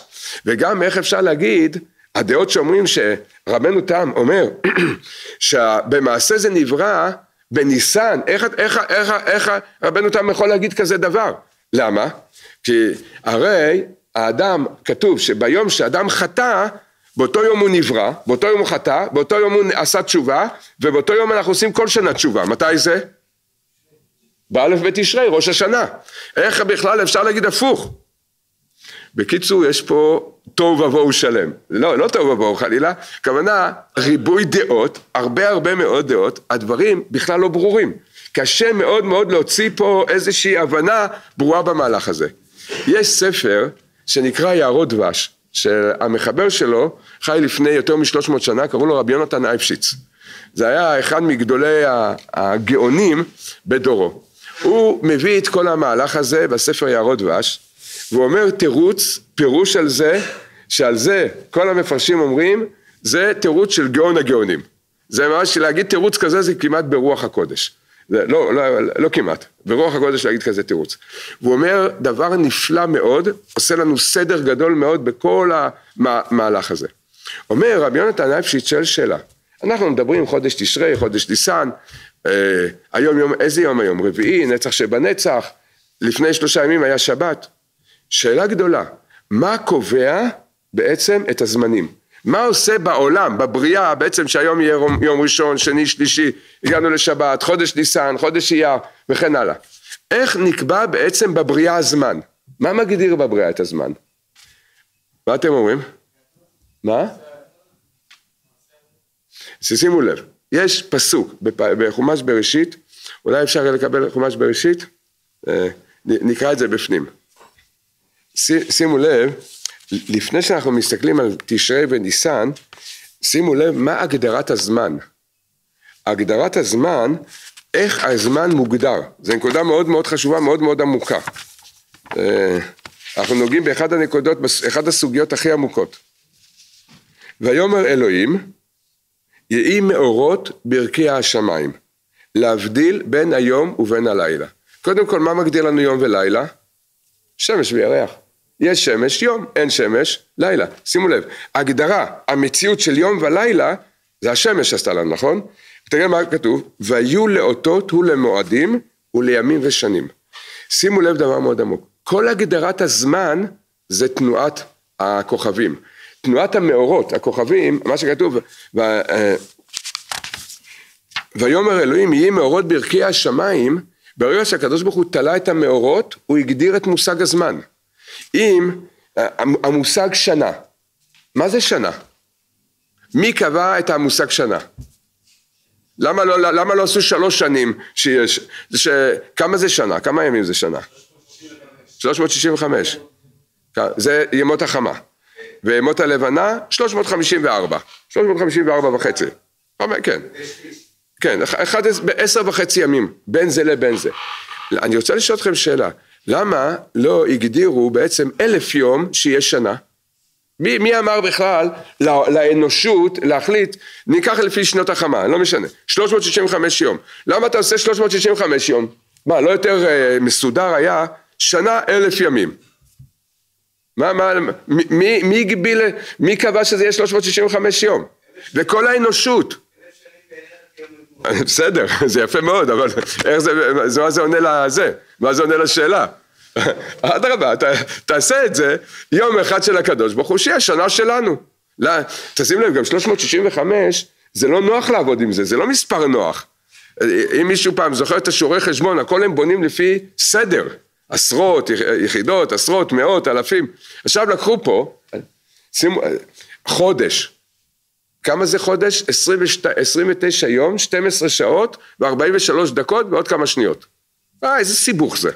למה צריך לסבך את זה? תעשה חודש, תעשה ככה, שנה אלף יום, עשרה חודשים בשנה, כל חודש מהיום, אתה יודע איך אתה פותר בעיות? למה לא עושים את זה ככה? מכיוון שהבריאה מחייבת אותנו. מה הכוונה? השמש, אנחנו אומרים שנת החמה 365 יום, החמה מסתובבת סביב, סיבוב אחד סביב, שלם סביב כדור הארץ בשנה. לכן אנחנו אומרים, המילה גם תקופות זה מלשון היקפים. לפי איך שהמאורות מקיפים את כדור הארץ ככה נקבע התקופות. לכן המושג תקופת השנה זה השמש עושה סיבוב אחד שלם סביב כדור הארץ זה לוקח 365 יום זאת אומרת אנחנו לא יכולים ללכת מה שאנחנו רוצים מדוע? כי בעצם כל תנאי מציאות העולם נקבעים לפי המאורות החודש מה זה שנת הלבנה? החמה זה השמש עושה סיבוב אחד שלם סביב כדור הארץ במשך שנה 365 יום מה זה שנת הלבנה? זאת אומרת, במילים אחרות, שבשעה שהחמה עושה סיבוב שלם, הלבנה הספיקה להסתובב סביבנו 12 פעמים. וזה ההבדל גם יש ביניהם. ואז יש, כל סיבוב מגדיר חודש. עכשיו תשימו לב כמה מצוות, כמה עניינים יש לנו בחודש הזה. זה, וזה מה שכתוב פה בפסוק, ויאמר אלוהים יהי מאורות ברכי השמיים, להבדיל בין היום ובין הלילה, והיו לאותות הוא למועדים. זאת אומרת מצבי הלבנה, הכדור הארץ ביחד ללבנה, הם מגדירים את הפסח, שבועות, הם מגדירים ראש השנה, כל המציאות שלנו נקבעת למעשה על פי תנועת הש... השמש והירח. עכשיו נוסיף בזה עוד פרט אחד, עוד, עוד, אה, פרט, עוד פרט בנתון הזה. כל חודש יש לו מהות רוחנית מצ, מצד עצמו. איפה אנחנו נתקלים במושג הזה שכל חודש יש לו מהות רוחנית בפני עצמו? המזלות. זה האסטרולוגיה. כל האסטרולוגיה בעצם, האסטרולוגיה שהיום כתוב, שהרבה מתייחסים אליה בצורה שטחית, היא, היא מאוד מאוד לא מדויקת. מאוד לא מדויקת. אבל יש לה מקור אמיתי. המקור, צריך לדעת את זה, יש אסטרולוגיה אמיתית. רק צריך לדעת הרבה, הרבה פרטים בזה. כי לא רק החודש קובע. החודש, היום בשבוע, השעה ביום וכן הלאה. יש הרבה דברים שקובעים. אבל האסטרולוגיה מגלה לנו, כל חודש יש לו מהות משלו.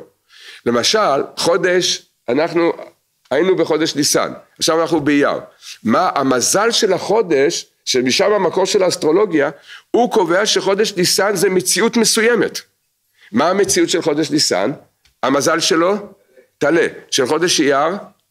שור. שבוע שעבר הזכרנו את זה. הזכרנו את זה. שטלה זה שיח נע. לכן חודש ניסן נכנעים, ברגע שאדם נכנע יש גאולה, בניסן יגאלו ובניסן עתידים להיגאל. זה כל העניין של ההשפעה, זה בא מיחנע. ואז כשאדם נכנע מגיע לחודש אייר, מה זה חודש אייר? זה העוצמה, שור זה עוצמה רוחנית, וזה המקור, זה המקור בעצם של, ה, של האסטרולוגיה. עכשיו שימו לב, שימו לב לדבר מעניין, לא רק שהשמש והריח מגדירים לנו בעצם את הזמנים לפי התנועה שלהם, יש פה עוד דבר, הם גם, מש... התנועה של, ה... של הכוכבים, שמש וירח בכוכבים, גם מגדירים מהות רוחנית. זה גם, כל חודש זה מהות רוחנית. זה לא, זה, זה לא סתם הגדרה אה, חיצונית. עכשיו, הירח עשה 12 סיבובים, אז הגענו לחודש ניסן. כשהוא מגיע לחודש ניסן, כבר יש גם מציאות רוחנית שלמה שנקבעת. מזל טלה, מזל שור, מזל תאומים, וכן הלאה, כל המזלות. הגענו לאב, זה אריה, זה כל, הב, כל הבלגן בעולם זה מחודש אב. לכן היה חורבן בית המקדש. כשנבוכדנצר נקרא אריה, עלה על בית המקדש. לא תיקנו את הרי שבקדושה, הגיע הרי שבקליפה אלינו. כל חודש יש לו גם מהות רוחנית מצד עצמו. למשל, מה המזל של חודש תשרי? מאזניים. למה? כי זה, זה זמן המשפט של העולם. לכן זה, זה, זה, זה מזל מאזניים. לכן הגדרת הזמן היא נקבעת קודם כל על פי תנועת השמש, הירח והכוכבים. זה מגדיר לנו את הזמן. אז ניקח עכשיו, נתייחס ל, לירח, מסתובב סיבוב אחד שלם, עבר מציאות חדשה. עברנו ממזל טלה למזל שור. סיבוב חדש, באמת כל המציאות הרוחנית השתנתה. כל שלושים יום, יותר, יתר דיוק 29 וחצי יום, משתנית המציאות, הרוח, משתנית המציאות הרוחנית. כשה, כשמגיע חודש אייר, השמש והירח הם כנגד מזל טלה בשמיים. יש מזלות, זה כוכבים. אז, אז הוא כנגד מזל טלה משפיע את השפע הזה של הטלה. עד כאן הקדמה קצרה כדי להבין את המהלך. את עומק עומק המחלוקת של חז"ל, אה, כמה, כמה דברי חז"ל עמוקים. כתוב, הגמרא שואלת שאלה. קראנו עכשיו, ויאמר אלוהים יהי מאורות ברכי השמיים. מתי הקדוש ברוך הוא תלה את המאורות בשמיים? מתי זה היה? יום רביעי. יפה, נכון, יום רביעי. באיזה שעה ביום רביעי? אתה מדבר מזיכרון? האמת שבדרך כלל אנשים אומרים בבוקר, אבל זה לא נכון, זה לא... מד... למה הוא תלה? התחיל. למה? תלה, התחיל. השאלה, טוב, מתי שהוא תלה? מתי הוא תלה? הוא תלה, אומרת הגמרא במסכת ברכות, הוא תלה אותם בשקיעת החמה של יום שלישי, תחילת יום רביעי. אז הוא תלה. יום רביעי מיועד לתליית המאורות, להתחלת תנועת המאורות, הוא תלה אותם ביום רביעי בשעה שש בערב. למה בשש בערב? כי אז היה שקיעת החמה. למה דווקא, מי יודע, מי אמר שזה היה בשש בערב? בחודש ניסן בתשרי היום הוא ממוצע, 12 שעות יום, 12 לילה. מכיוון שבין אם הוא תלה את זה בניסן, בין אם הוא תלה את זה בתשרי, שש בערב זה שקיעת החמה. תבדקו את זה, תראו שבשש בערב שקיעת החמה בזה, ניסן ותשרי. אז הוא תלה את המאורות. זאת אומרת, אם אנחנו מתחילים לדבר על זמנים, צריך לדבר מיום רביעי בשקיע, בשקיעת החמה. אז הוא תלה את המאורות. שואלת הגמרא, שאלה, באיזה מזל הוא תלה אותם? שימו לב, אנחנו רוצים לשאול, אנחנו שואלים באיזה חודש הוא תלה אותם, נכון? איזה חודש זה היה? לפני שהוא תלה אותם אין הגדרת חודש. למה? כי הגדרת חודש זה לפי המזלות. אז השאלה הראשונה, אם אנחנו רוצים לדעת באיזה חודש הוא תלה אותם, אז אנחנו צריכים לדעת באיזה מזל הוא תלה את המאורעות. בדיוק המזלות שהיו בשמיים, בשעה שהוא תלה אותם, איזה מזל זה היה? מה? או מאזניים או תלה. מאזניים זה תשרי, אה, אתה אומר או זה או זה. אה, בסדר, לפי רבי יהושע ורבי אליעזר, צודק? צודק. מה? למה ינואר? תראה, אחרי שכבר היה את כל התנועה של המורות, אפשר להגדיר תחילת השנה. אנחנו עוד מדברים עוד לפני הכל, עוד אין, עוד אין מציאות, עוד אין מציאות. ודרך אגב, לפי רבי אליעזר ורבי יהושע, התחלת השנה או בניסן או בתשרי, לפי בריאת העולם. זה לא לפי ינואר, זה לפי ניסן, אה, זהו, תשרי. אז השאלה באיזה מזל הוא תלה אותם? אומרת הגמרא, הוא תלה אותם במזל טלה. שש בערב של יום רביעי של תליית המאורות זה היה מזל טלה. אם כך, שש בערב, איזה חודש זה? ניסן. אז יוצא שזה, מי, מי צודק פה? לפי רבי יהושע זה יוצא טוב. אומר רבי יונתן אייפשיץ דבר נפלא מאוד. זה מדרש רבה בבראשית, פרשת בראשית. עד שאדם הראשון חטא, לפני שאדם הראשון חטא, המאורות לא נעו בקצב שהם נעים עכשיו, אלא הרבה יותר מהר. מה זאת אומרת הרבה יותר מהר? כל 11 וחצי שעות, היום כמה זמן לוקח לשם, לירח לעבור ממזל למזל אמרנו? חודש, 29 וחצי יום. לפני שאדם הראשון חטא זה מדרש רבה. כל, כל, כל תנועה של מזל לקחה לו 11 וחצי שעות. אז אם הוא תלה אותו בשש בערב באייר, בשבע וחצי בבוקר של יום רביעי זה כבר היה חודש אייר. הוא תלה אותו בניסן בבוקר, למה? כי זה כבר עבר למזל אחר. שימו לב, תנועת החודשים, מושג החודשים, עד החטא זה תנועה אחרת, זה קצב אחר לגמרי. זה לא כמו שאנחנו היום רגילים לחשוב, זה בכלל מציאות אחרת. ואז ביום רביעי בבוקר כבר היה חודש אייר, מזל, מזל אה, שור. עוד 11, שלושה ימים, כמה זה שלושה ימים? שש מזלות. שש מזלות. בין מזל טלה למזל מאזניים, בגלל שזה מניסן לתשרי, שזה שישה חודשים, זה שש מזלות. ביום שישי בבוקר, כשנברא האדם הראשון, באיזה מזל הוא נברא? מזל מאזניים. ממילא, עכשיו נשאל באיזה חודש נברא האדם הראשון? מה? בחודש תשרי. כי הוא נברא במזל מאזניים, אז הוא נברא בחודש תשרי. שימו לב, זה התירוץ של רבי יונתן אייפשיץ. זה מה שאומר יונתן אייפשיץ. כל, כל הדעות שראינו במפרשים, הוא אומר, מה המקור שלהם? המקור שלהם שהמאורות ו- וכל המציאות של החיות, העופות, הכל נבראו, הכל נבראו ביום רביעי בשש בערב, היה מזל טלה, זה חודש ליסן, אבל הכל השתנה במהירות. כשהגיע יום שישי, שנברא האדם הראשון, הוא כבר נברא במזל מאזניים. כשהוא חטא, אדם הראשון, שהוא חטא, יש בזה אמנם מחלוקת קצת, אבל לפי רבי נתן האפשיץ, מתי האדם הראשון? בוא נעשה סדר, נלמד, מתי האדם הראשון נברא? אדם הראשון, שש בבוקר, יום שישי של בריאת העולם, שש בבוקר, היה אה, הנצח חמה. באותו יום הקדוש ברוך הוא העיר את, אה, את, את האור הגנוז, עוד פעם לכבוד האדם הראשון, צבר את עפרו, שעה ראשונה צבר את עפרו, שעה שנייה נפח בו רוח חיים. עוד כמה דברים הוא נתן לו לעשות, הגמרא במסכת סנדרין אומרת, שעה תשיעית של אותו יום, זה שתיים אחר הצהריים. שעה, אומרים שעה תשיעית, התחלה שעה תשיעית משש בבוקר. זה החשבון שעושים. אז הוא ציווה עליו את המצווה מעץ הדעת טוב ורע לא תאכל ממנו. ומה הוא עוד ציווה עליו? הוא ציווה עליו גם לקדש את החודש, מצוות קידוש החודש. למה הוא ציווה עליו בשעה הזאת קידוש החודש? כי באותו רגע היה מולד הלבנה של חודש תשרי של מזל מאזניים. אז כל המצווה והעבודה של האדם באיזה חודש זה היה? בתשרי, במזל מאזניים.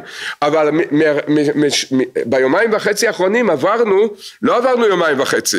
בגלל שהיה כל התנועה בבריאה אחרת, עברנו שישה חודשים. לכן, אומר רבי יונתן אפשיץ, כל בריאת העולם, תליית המאורות אנחנו מחשבים לפי חודש ניסן. אבל כל מעשה האדם נקבע לפי חודש תשרי. ומה היה? עד מוצאי שבת, בדרך אגב, הוא אומר שם דיוק נפלא, זה עיקר הסיבה גם שהוא מביא את כל המהלך הזה. משעה שתיים בצהריים, בשש נכנס שבת, בשתיים הוא חטא, שש נכנס שבת. האדם הראשון עשה תשובה, והתשובה שלו התקבלה לפני כניסת שבת. זאת אומרת, מהחטא עד, ה... עד, ה... עד שהקדוש ברוך הוא סלח לו, כמה זמן עבר? ארבע שעות.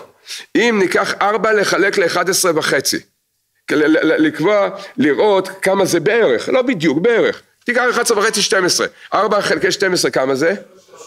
שליש, לא, ביחסות, זה שליש, נכון? אומר רבי יונתן אפשיץ, עכשיו תבין למה, למה יום כיפור זה בי' בתשרי שזה שליש החודש. כי הוא בשליש מזל מאזניים עשה תשובה, בארבע שעות, כי עדיין המזלות נעו בקצב. מתי התחילו לנוע בקצב שלנו עכשיו? במוצאי שבת. שהוא, שהוא גורש מגן עדן. עד מוצאי שבת זה עדיין נע בקצב הראשון. אז יוצא, האדם הראשון ביקש מהקדוש ברוך הוא, שעשה תשובה, הוא סלח לו בכניסת שבת, זה בשליש חודש תשרי, לכן יום כיפורים יוצא בי' בתשרי. זה מהלך גאוני, באמת, לא, הוא אומר בעצמו, לא נכתב כזה פירוש, הוא אומר, זה כזה פירוש, ויש הרבה ראיות למהלך של רבי נתן אפשיץ, שזה, שזה מה שהאמת. ממילא יוצא עכשיו דבר נפלא, נפלא. העמדנו רק את היסודות הראשונים של הדברים. השמש והירח נבראו ונתלו ביום רביעי. האדם נברא ביום שישי. לכן, לפי הקצב שהיה אז, הם נבראו ונתלו בשמיים בחודש ניסן, והוא נברא בחודש תשרי. הכל הסתדר. כל, זה, זה מיישב את כל השיטות של הראשונים וכל המפרשים, זה מיישב את הכל. כל אחד מה שיגיד אתה יכול לסדר את זה עכשיו לפי דברי רבי יונתן אייפשיץ. זה באמת אה, פלא פלאים התירוץ הזה. מה? אז ה, זה, זה, זה היסוד הראשון. זה היסוד. מה? יפה. שימו לב. ונראה, יפה מאוד. רבנו נולד באלף בניסן, ורבנו אמר ראש השנה א' בתשרי זה כל העניין שלי, והוא נפטר בתשרי, י"ח בתשרי אבל הוא נפטר בתשרי, שימו לב כל המהלך של רבנו זה מניסן לתשרי, כן, עכשיו עדיין, עדיין, זה מה שאמרנו עכשיו, רבי אליעזר יודע את זה ורבי יהושע יודע את זה, אז על מה התווכחתם מתי נברא העולם? למה אתה אומר רבי אליעזר למאי נפקא מינה שאתה אומר העולם נברא בתשרי, ורבי יהושע אתה אומר שהעולם נברא בניסן. אתם, כולם מסכימים שאתם ידעתם את הכל. ידעתם את כל הסדר הזה. מה ההדגש, ההדגשה של רבי יהושע להגיד שהעולם נברא בניסן, וההדגשה של רבי אליעזר להגיד שהעולם נברא בתשרי. מה, מה ההדגשה של זה? אז נתחיל, נעמיד רק את היסוד של זה, ובעזרת השם נמשיך עם זה. הרי הקדוש ברוך הוא ברא את העולם מתוך רצון שאנחנו פה נתמודד, בין הטוב ובין הרע. כי אם הוא לא היה רוצה, הוא לא היה בורא את עץ הדת, טוב ורע. הוא לא היה, לא היה נותן אפשרות של חטא. אבל ממילא ידוע שהקדוש ברוך הוא ברא את מציאות הרע בעולם, כדי שאנחנו נתמודד איתה.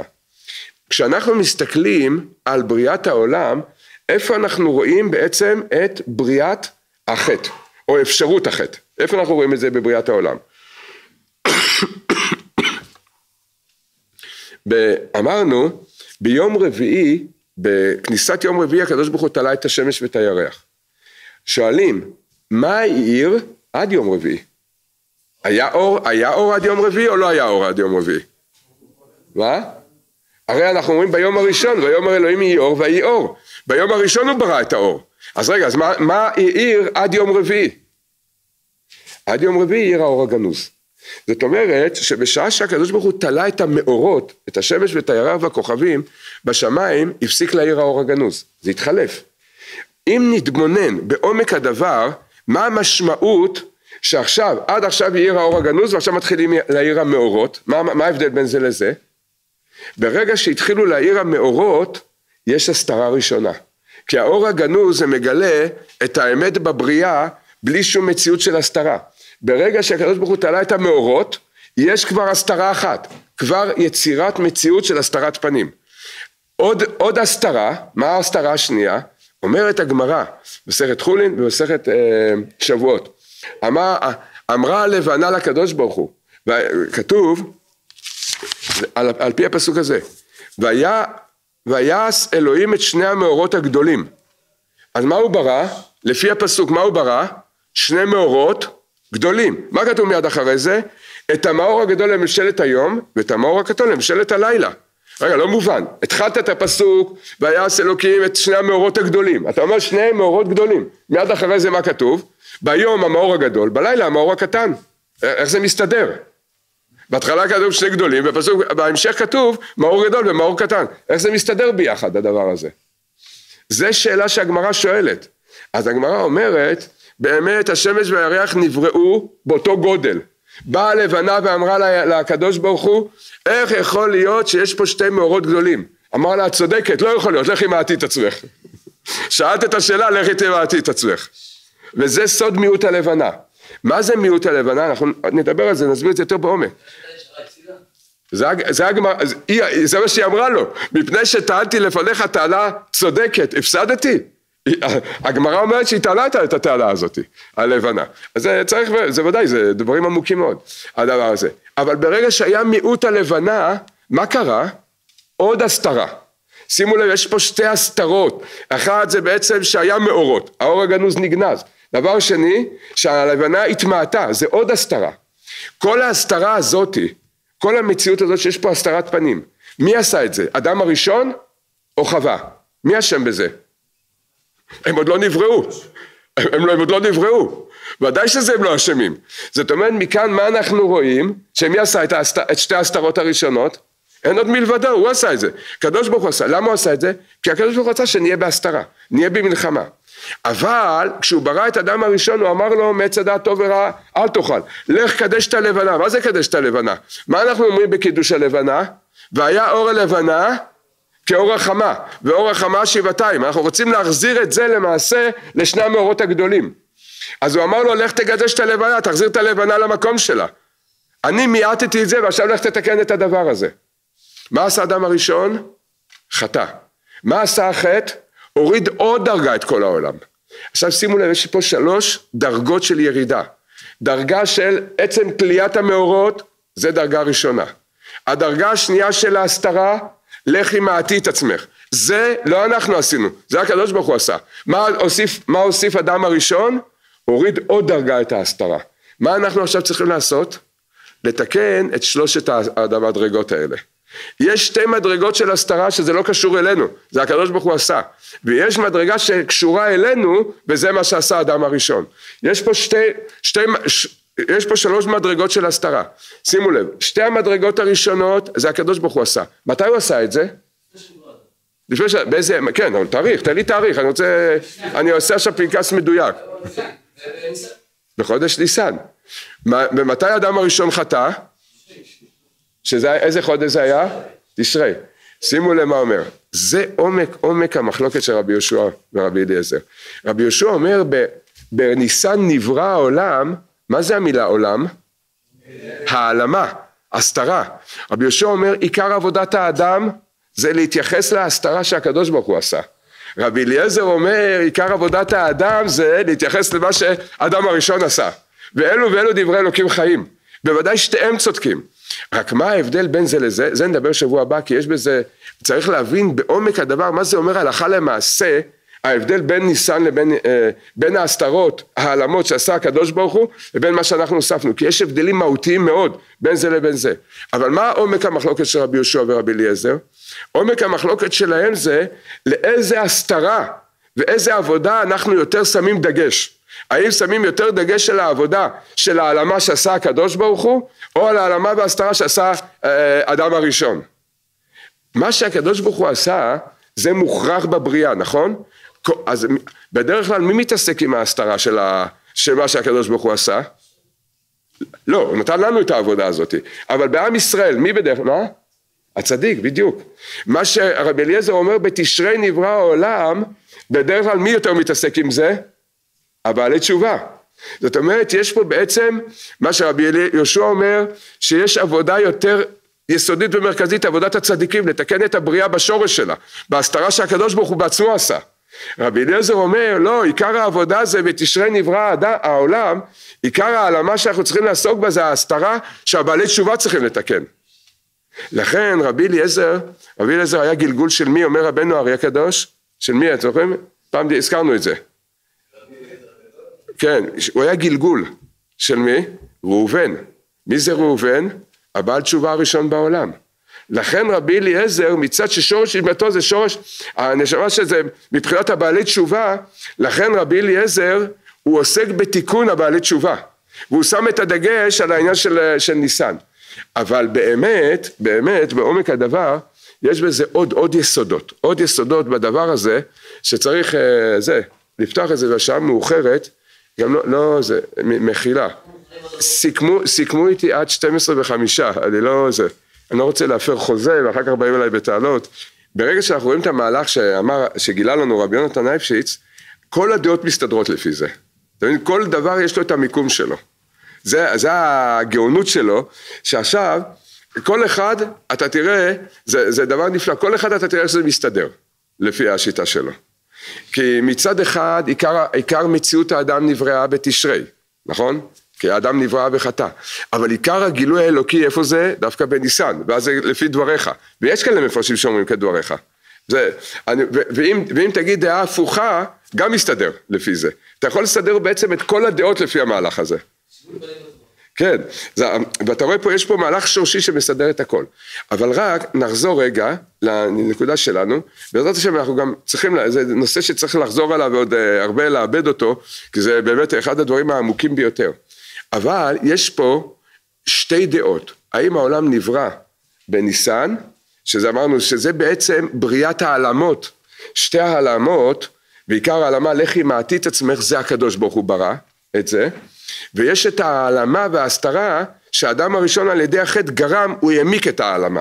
עכשיו המחלוקת בין רבי יהושע לרבי אליעזר, למהלך הזה שתיהם מסכימים, הם לא חולקים על המהלך הזה, הם חולקים על עניין אחר.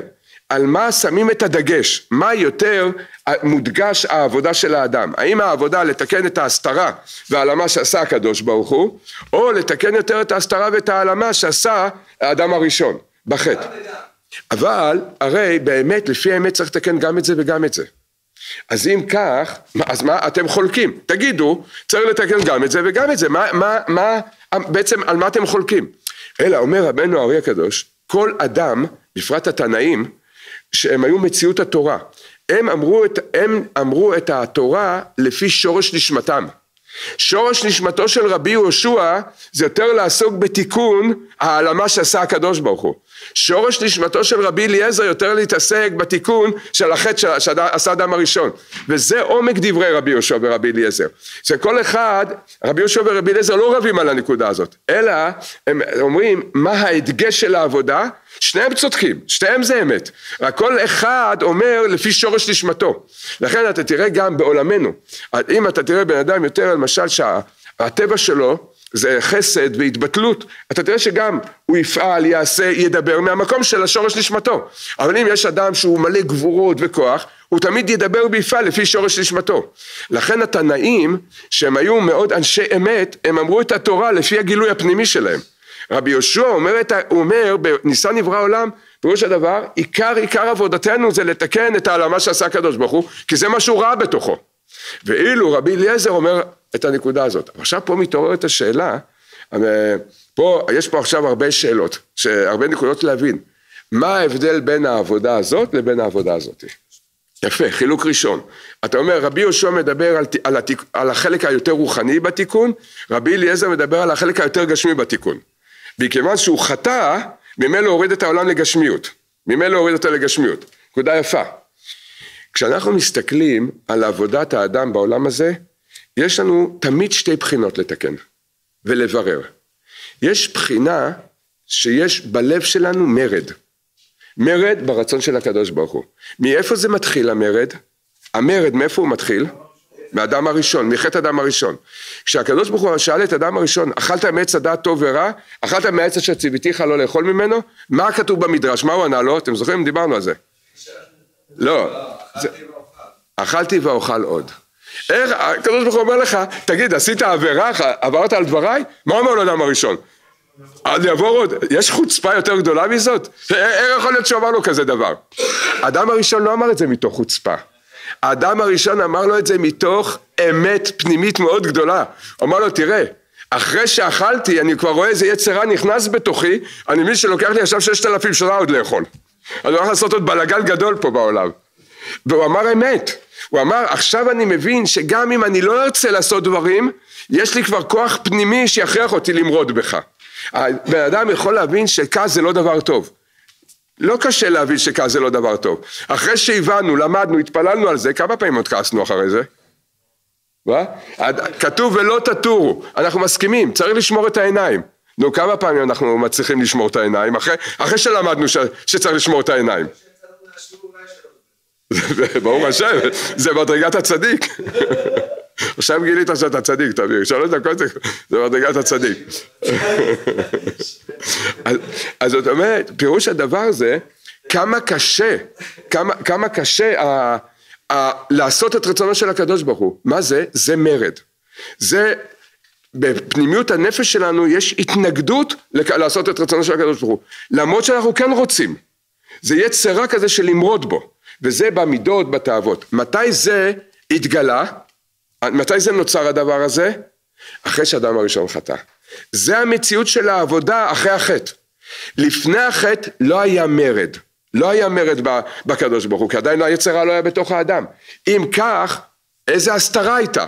אם לא היה את ההסתרה של אחרי החטא, שיש את היצר בתוכנו, מה כן היה? איזה, הרי אמרנו, יש הסתרה של מיעוט הלבנה. מה היה בהסתרה הזאת? לא, כן, אבל, נכון, אבל הכוונה, הכוונה שאנחנו שואלים, השאלות שאנחנו שואלים, איך זה מתגלה בחיים שלנו, היסוד של ההסתרה של המיעוט הלבנה. זאת אומרת, מה זה יוצר בתוכנו? הרי אמרנו, יצר הרע להתנגד לקדוש ברוך הוא זה רק אחרי החטא. אז לפני החטא לא היה את זה. אז איזה כן הסתרה הייתה שמתגלית בתוכנו? מה? האדם רוצה, לפני, לפני החטא, האדם רוצה לעשות רק מה שהקדוש ברוך הוא אומר לו, אבל הוא יכול לטעות מה שהקדוש ברוך הוא רוצה ממנו. מה? בדיוק, כשאדם שואל מה הקדוש ברוך הוא רוצה ממני, אני רוצה לעשות את רצונו, עכשיו אין לי יצר הרע, כרגע, ברוך השם יש איזה שעה של שקט, אין לי יצר רע שמתנגד לקדוש ברוך הוא, אני לא כועס, אין לי תאווה, אין לי בלבול, אבל מה, יש שאלה אחרת, הרבה פעמים מתעוררת, למה זה, זה גם קשור לזה, אבל עוד לפני הלמה זה מה אני צריך לעשות עכשיו. לפעמים האדם לא יודע בעצם מה לעשות. זה ההסתרה של הלבנה, לכי מעטי את עצמך.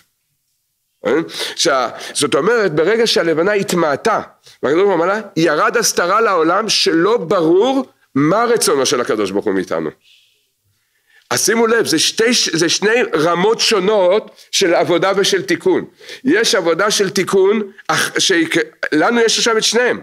יש עבודה בתיקון שנקראת אחרי החטא, ובזה נברא העולם בתשרי, הכוונה העלמה של תשרי זה החטא, נברא פה, התעוררה פה הקושייה, מתעורר בתוכנו המרד נגד הקדוש ברוך הוא, זה דבר אחד. אבל גם אם אדם מתקן את זה, וזכה לתקן את כל הכעס, את כל ההקפדות, כל התאוות, תיקן את זה לגמרי, עדיין מה יש לו איזה עבודה? של, של בריאת העולם, של ניסן, לכי מעטי עצמך. לא ברור לאדם מה, איפה נקודת האמת, האדם יכול לטעות, כולל הצדיקים הכי גדולים עדיין יכולים לטעות. וזה נקרא יצרה של מי? של מלאכים. כי גם מלאכים יכולים לטעות. למלאך, המלאך לא כמונו, אין לו יצרה לעשות נגד רצון השם. אבל מלאך יכול לטעות מה השם רוצה. יש, יש ראיה לדבר הזה? מצאנו בגמרא במפורש שמלאך עשה טעות ונענש על זה. המלאך מתת, בשעה שאלישע בן נבויה נכנס להיכל שישב שם, הוא לא קם לכבודו, למה הוא לא קם? האם הוא יודע שהקדוש ברוך הוא רוצה שהוא יקום הוא לא יקום? ודאי שהוא יקום. אלא מה? הוא הבין שהוא לא צריך לקום. הוא טעה בשיקול דעת. אומרת הגמרא, הוא נענש על זה. נכון? שישים מכות. אליהו הנביא, הוא מלאך הברית. אומרת הגמרא, מספרת הגמרא, שרבי יהודה הנשיא שאל את, את אליהו הנביא, איך אפשר להביא את הגאולה? איך אפשר לגרום לתחיית המתים? הוא גילה לו את הסוד, אמר לו, אם רבי חייא, תלמידך, יהיה שליח ציבור, ושתי בנים של רבי חייא, אחד יהיה מימין, אחד יהיה משמאל, מה שרבי חייא יגיד יתקיים. מה, אה, אה, אה, רבי יהודה הנשיא לא גילה את זה. יום אחד, עברו כמה ימים, הוא שלח את רבי חייא להיות שליח ציבור, שם את שתי הבנים שלו לידו. רבי חייא, זה היה חורף, אמר משיב הרוח. רק אמר את המילה משיב הרוח, כל העולם יצטרך להיות צונאמי בכל כדור הארץ. מיד זעקו בשמיים, מי גילה את הסוד הזה? אמרו אליהו הנביא. אז אומרת הגמרא, קיבל עונש על זה, מה גילית כזה סוד? קיבל עונש והלך, והלך לתקן את זה, הפחיד אותם אז אה, ביטל את התפילה. המלאך גבריאל, הגמרא מספרת, מדרש רבה מספר, שהמלאך גבריאל צווה לאיזה שליחות והשתה, וזה בשביל עם ישראל הוא השתה, נענש על זה. אז פה אנחנו רואים, פה אנחנו רואים שמלאכים, מה, מה המלאך? האם למלאך יש נקודה לעשות נגד רצון השם? ודאי שלא, אין לו יצר הרע, לא, הם לא היו בחטא הדם הראשון, אין להם נקודה של לעשות נגד רצון השם, אבל עדיין יש להם את האפשרות לטעות בשיקול דעת מה השם רוצה, זה שתי מדרגות, זה המדרגה של המלאכים, זה המדרגה של העבודה של חודש ניסן, זה העלמה שעשה הקדוש ברוך הוא. העלמה של חודש תשרי זה העלמה של, של, של החטא עצמו. רבי יהושע, עבודתו הייתה תמיד יותר בבחינת לברר מה השם רוצה. זה היה העבודה של רבי יהושע. אילו העבודה של רבי אליעזר הגדול, הוא היה בעל תשובה, רבי אליעזר הגדול. הוא משורש הבעל לתשובה. לכן רבי אליעזר שם את הדגש על בריאת, בריאת העולם בתשרי, על העניין של החטא. זה עומק, זה עומק המחלוקת ביניהם. מי מגלה בחינה יותר גדולה? על, על זה נאמר במקום שבעלי תשובה עומדים, אפילו צדיקים גמורים אינם, אינם עומדים. לכן, ככל שאדם יותר בעל תשובה ממקום יותר נמוך, מה יכול לגלות יותר? ונכון, נכון, אתה צודק, שהעולם יותר טהור, לגלות את הטהרה של העולם. גם מה שלצדיק ייראה כמקום לא טהור, אז, אז הצדיק, הבעל תשובה יכול להגיד, תדע לך, אתה לא מכיר את המקום הזה, אני מכיר אותו, המקום הזה טהור. לכן, הגמרא אומרת שהייתה מחלוקת בין מי?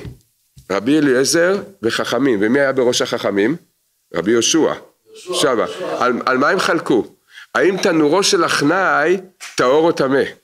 רבי אליעזר אמר יום שלם, רבי אליעזר אמר התנור טהור והחכמים בראש, בראשם היה רבי יהושע אמרו לו לא, התנור טמא אז רבי יהושע אמר, רבי אליעזר אמר להם אמת המים תוכיח, מה זה אמת המים? היה שם צינור של מים יורדים אמר למים תעלו, המים עלו למעלה אמרו לו אין מביאים ראיה מאמת המים אמר להם עץ החרוב יוכיח, היה שם עץ חרוב בחצר של בית המדרש, התרומם באוויר עף מהאמה, מאה מטר הוא התרחק משם. אמרו לו אין מביאים ראיה מעץ החרוב. אמר כותלי בית המדרש יוכיחו.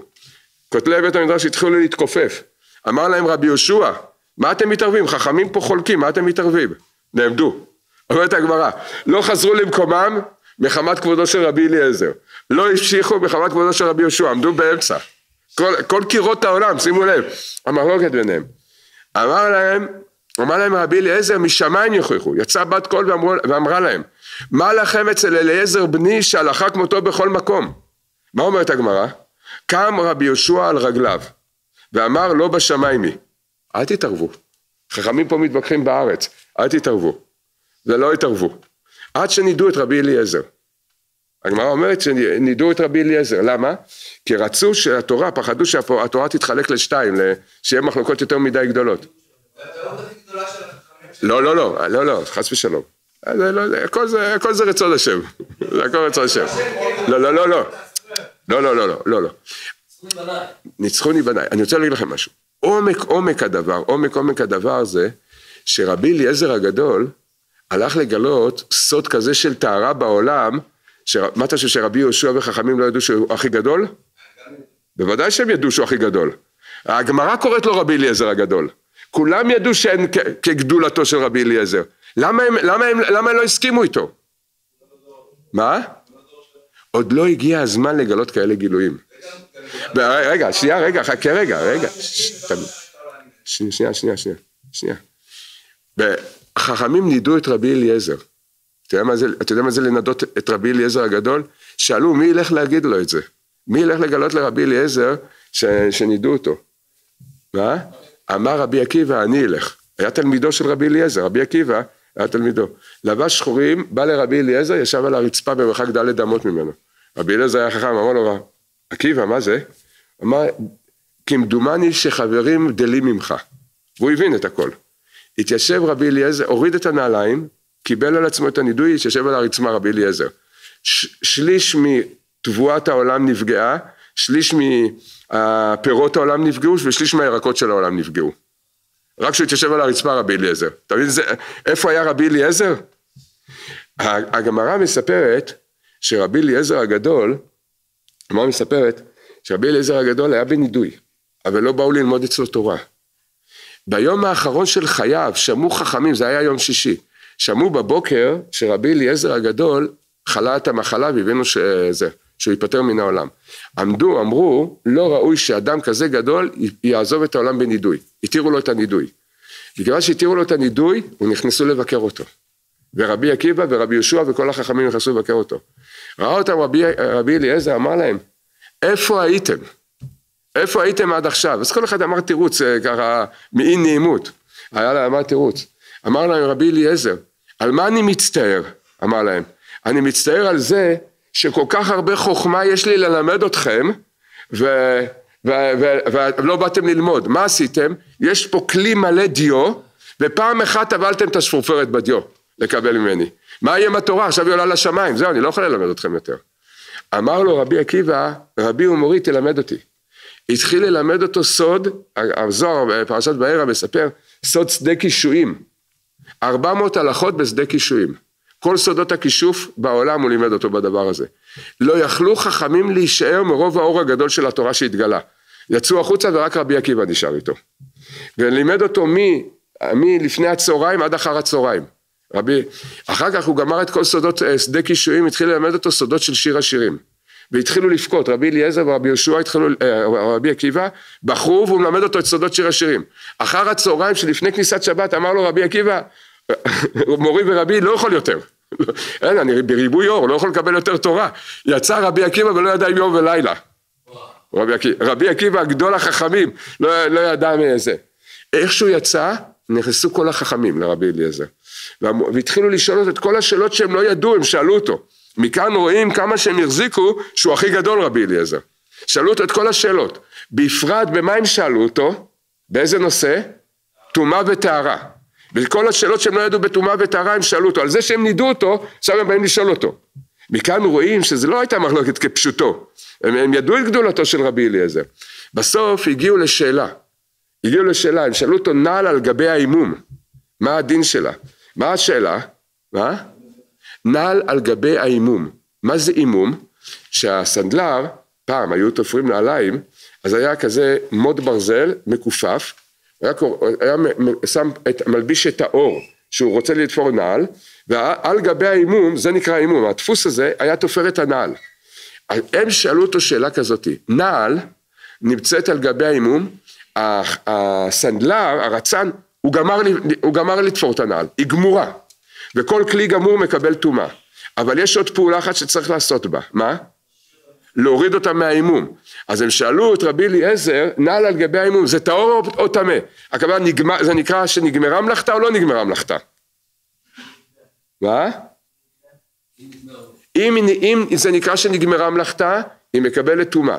אם זה לא נקרא שנגמרה מלאכתה, כי צריך להוריד אותה מעל גבי העימום, אז נקרא, אז היא טהורה. הם לא ידעו איך להתייחס לזה, אז הם שאלו אותו. אמר להם רבי אליעזר טהורה, ויצא נשמתו בטהרה. יצא בת קול ואמרה, אתה טהור ונשמתך טהור ופסקת טהור, רבי אליעזר. זו השאלה האחרונה ששאלו את רבי אליעזר הגדול, בחייו. נעל על גבי העימום. מה הסוד של הדבר? הסוד, יש בזה סוד נורא מאוד. הרי אמרנו שרבי אליעזר הוא שורש של הבעלי תשובה. והבעלי תשובה, מתי עיקר תיקונם של הבעלי תשובה? בדור האחרון, בעקבתא דמשיחא.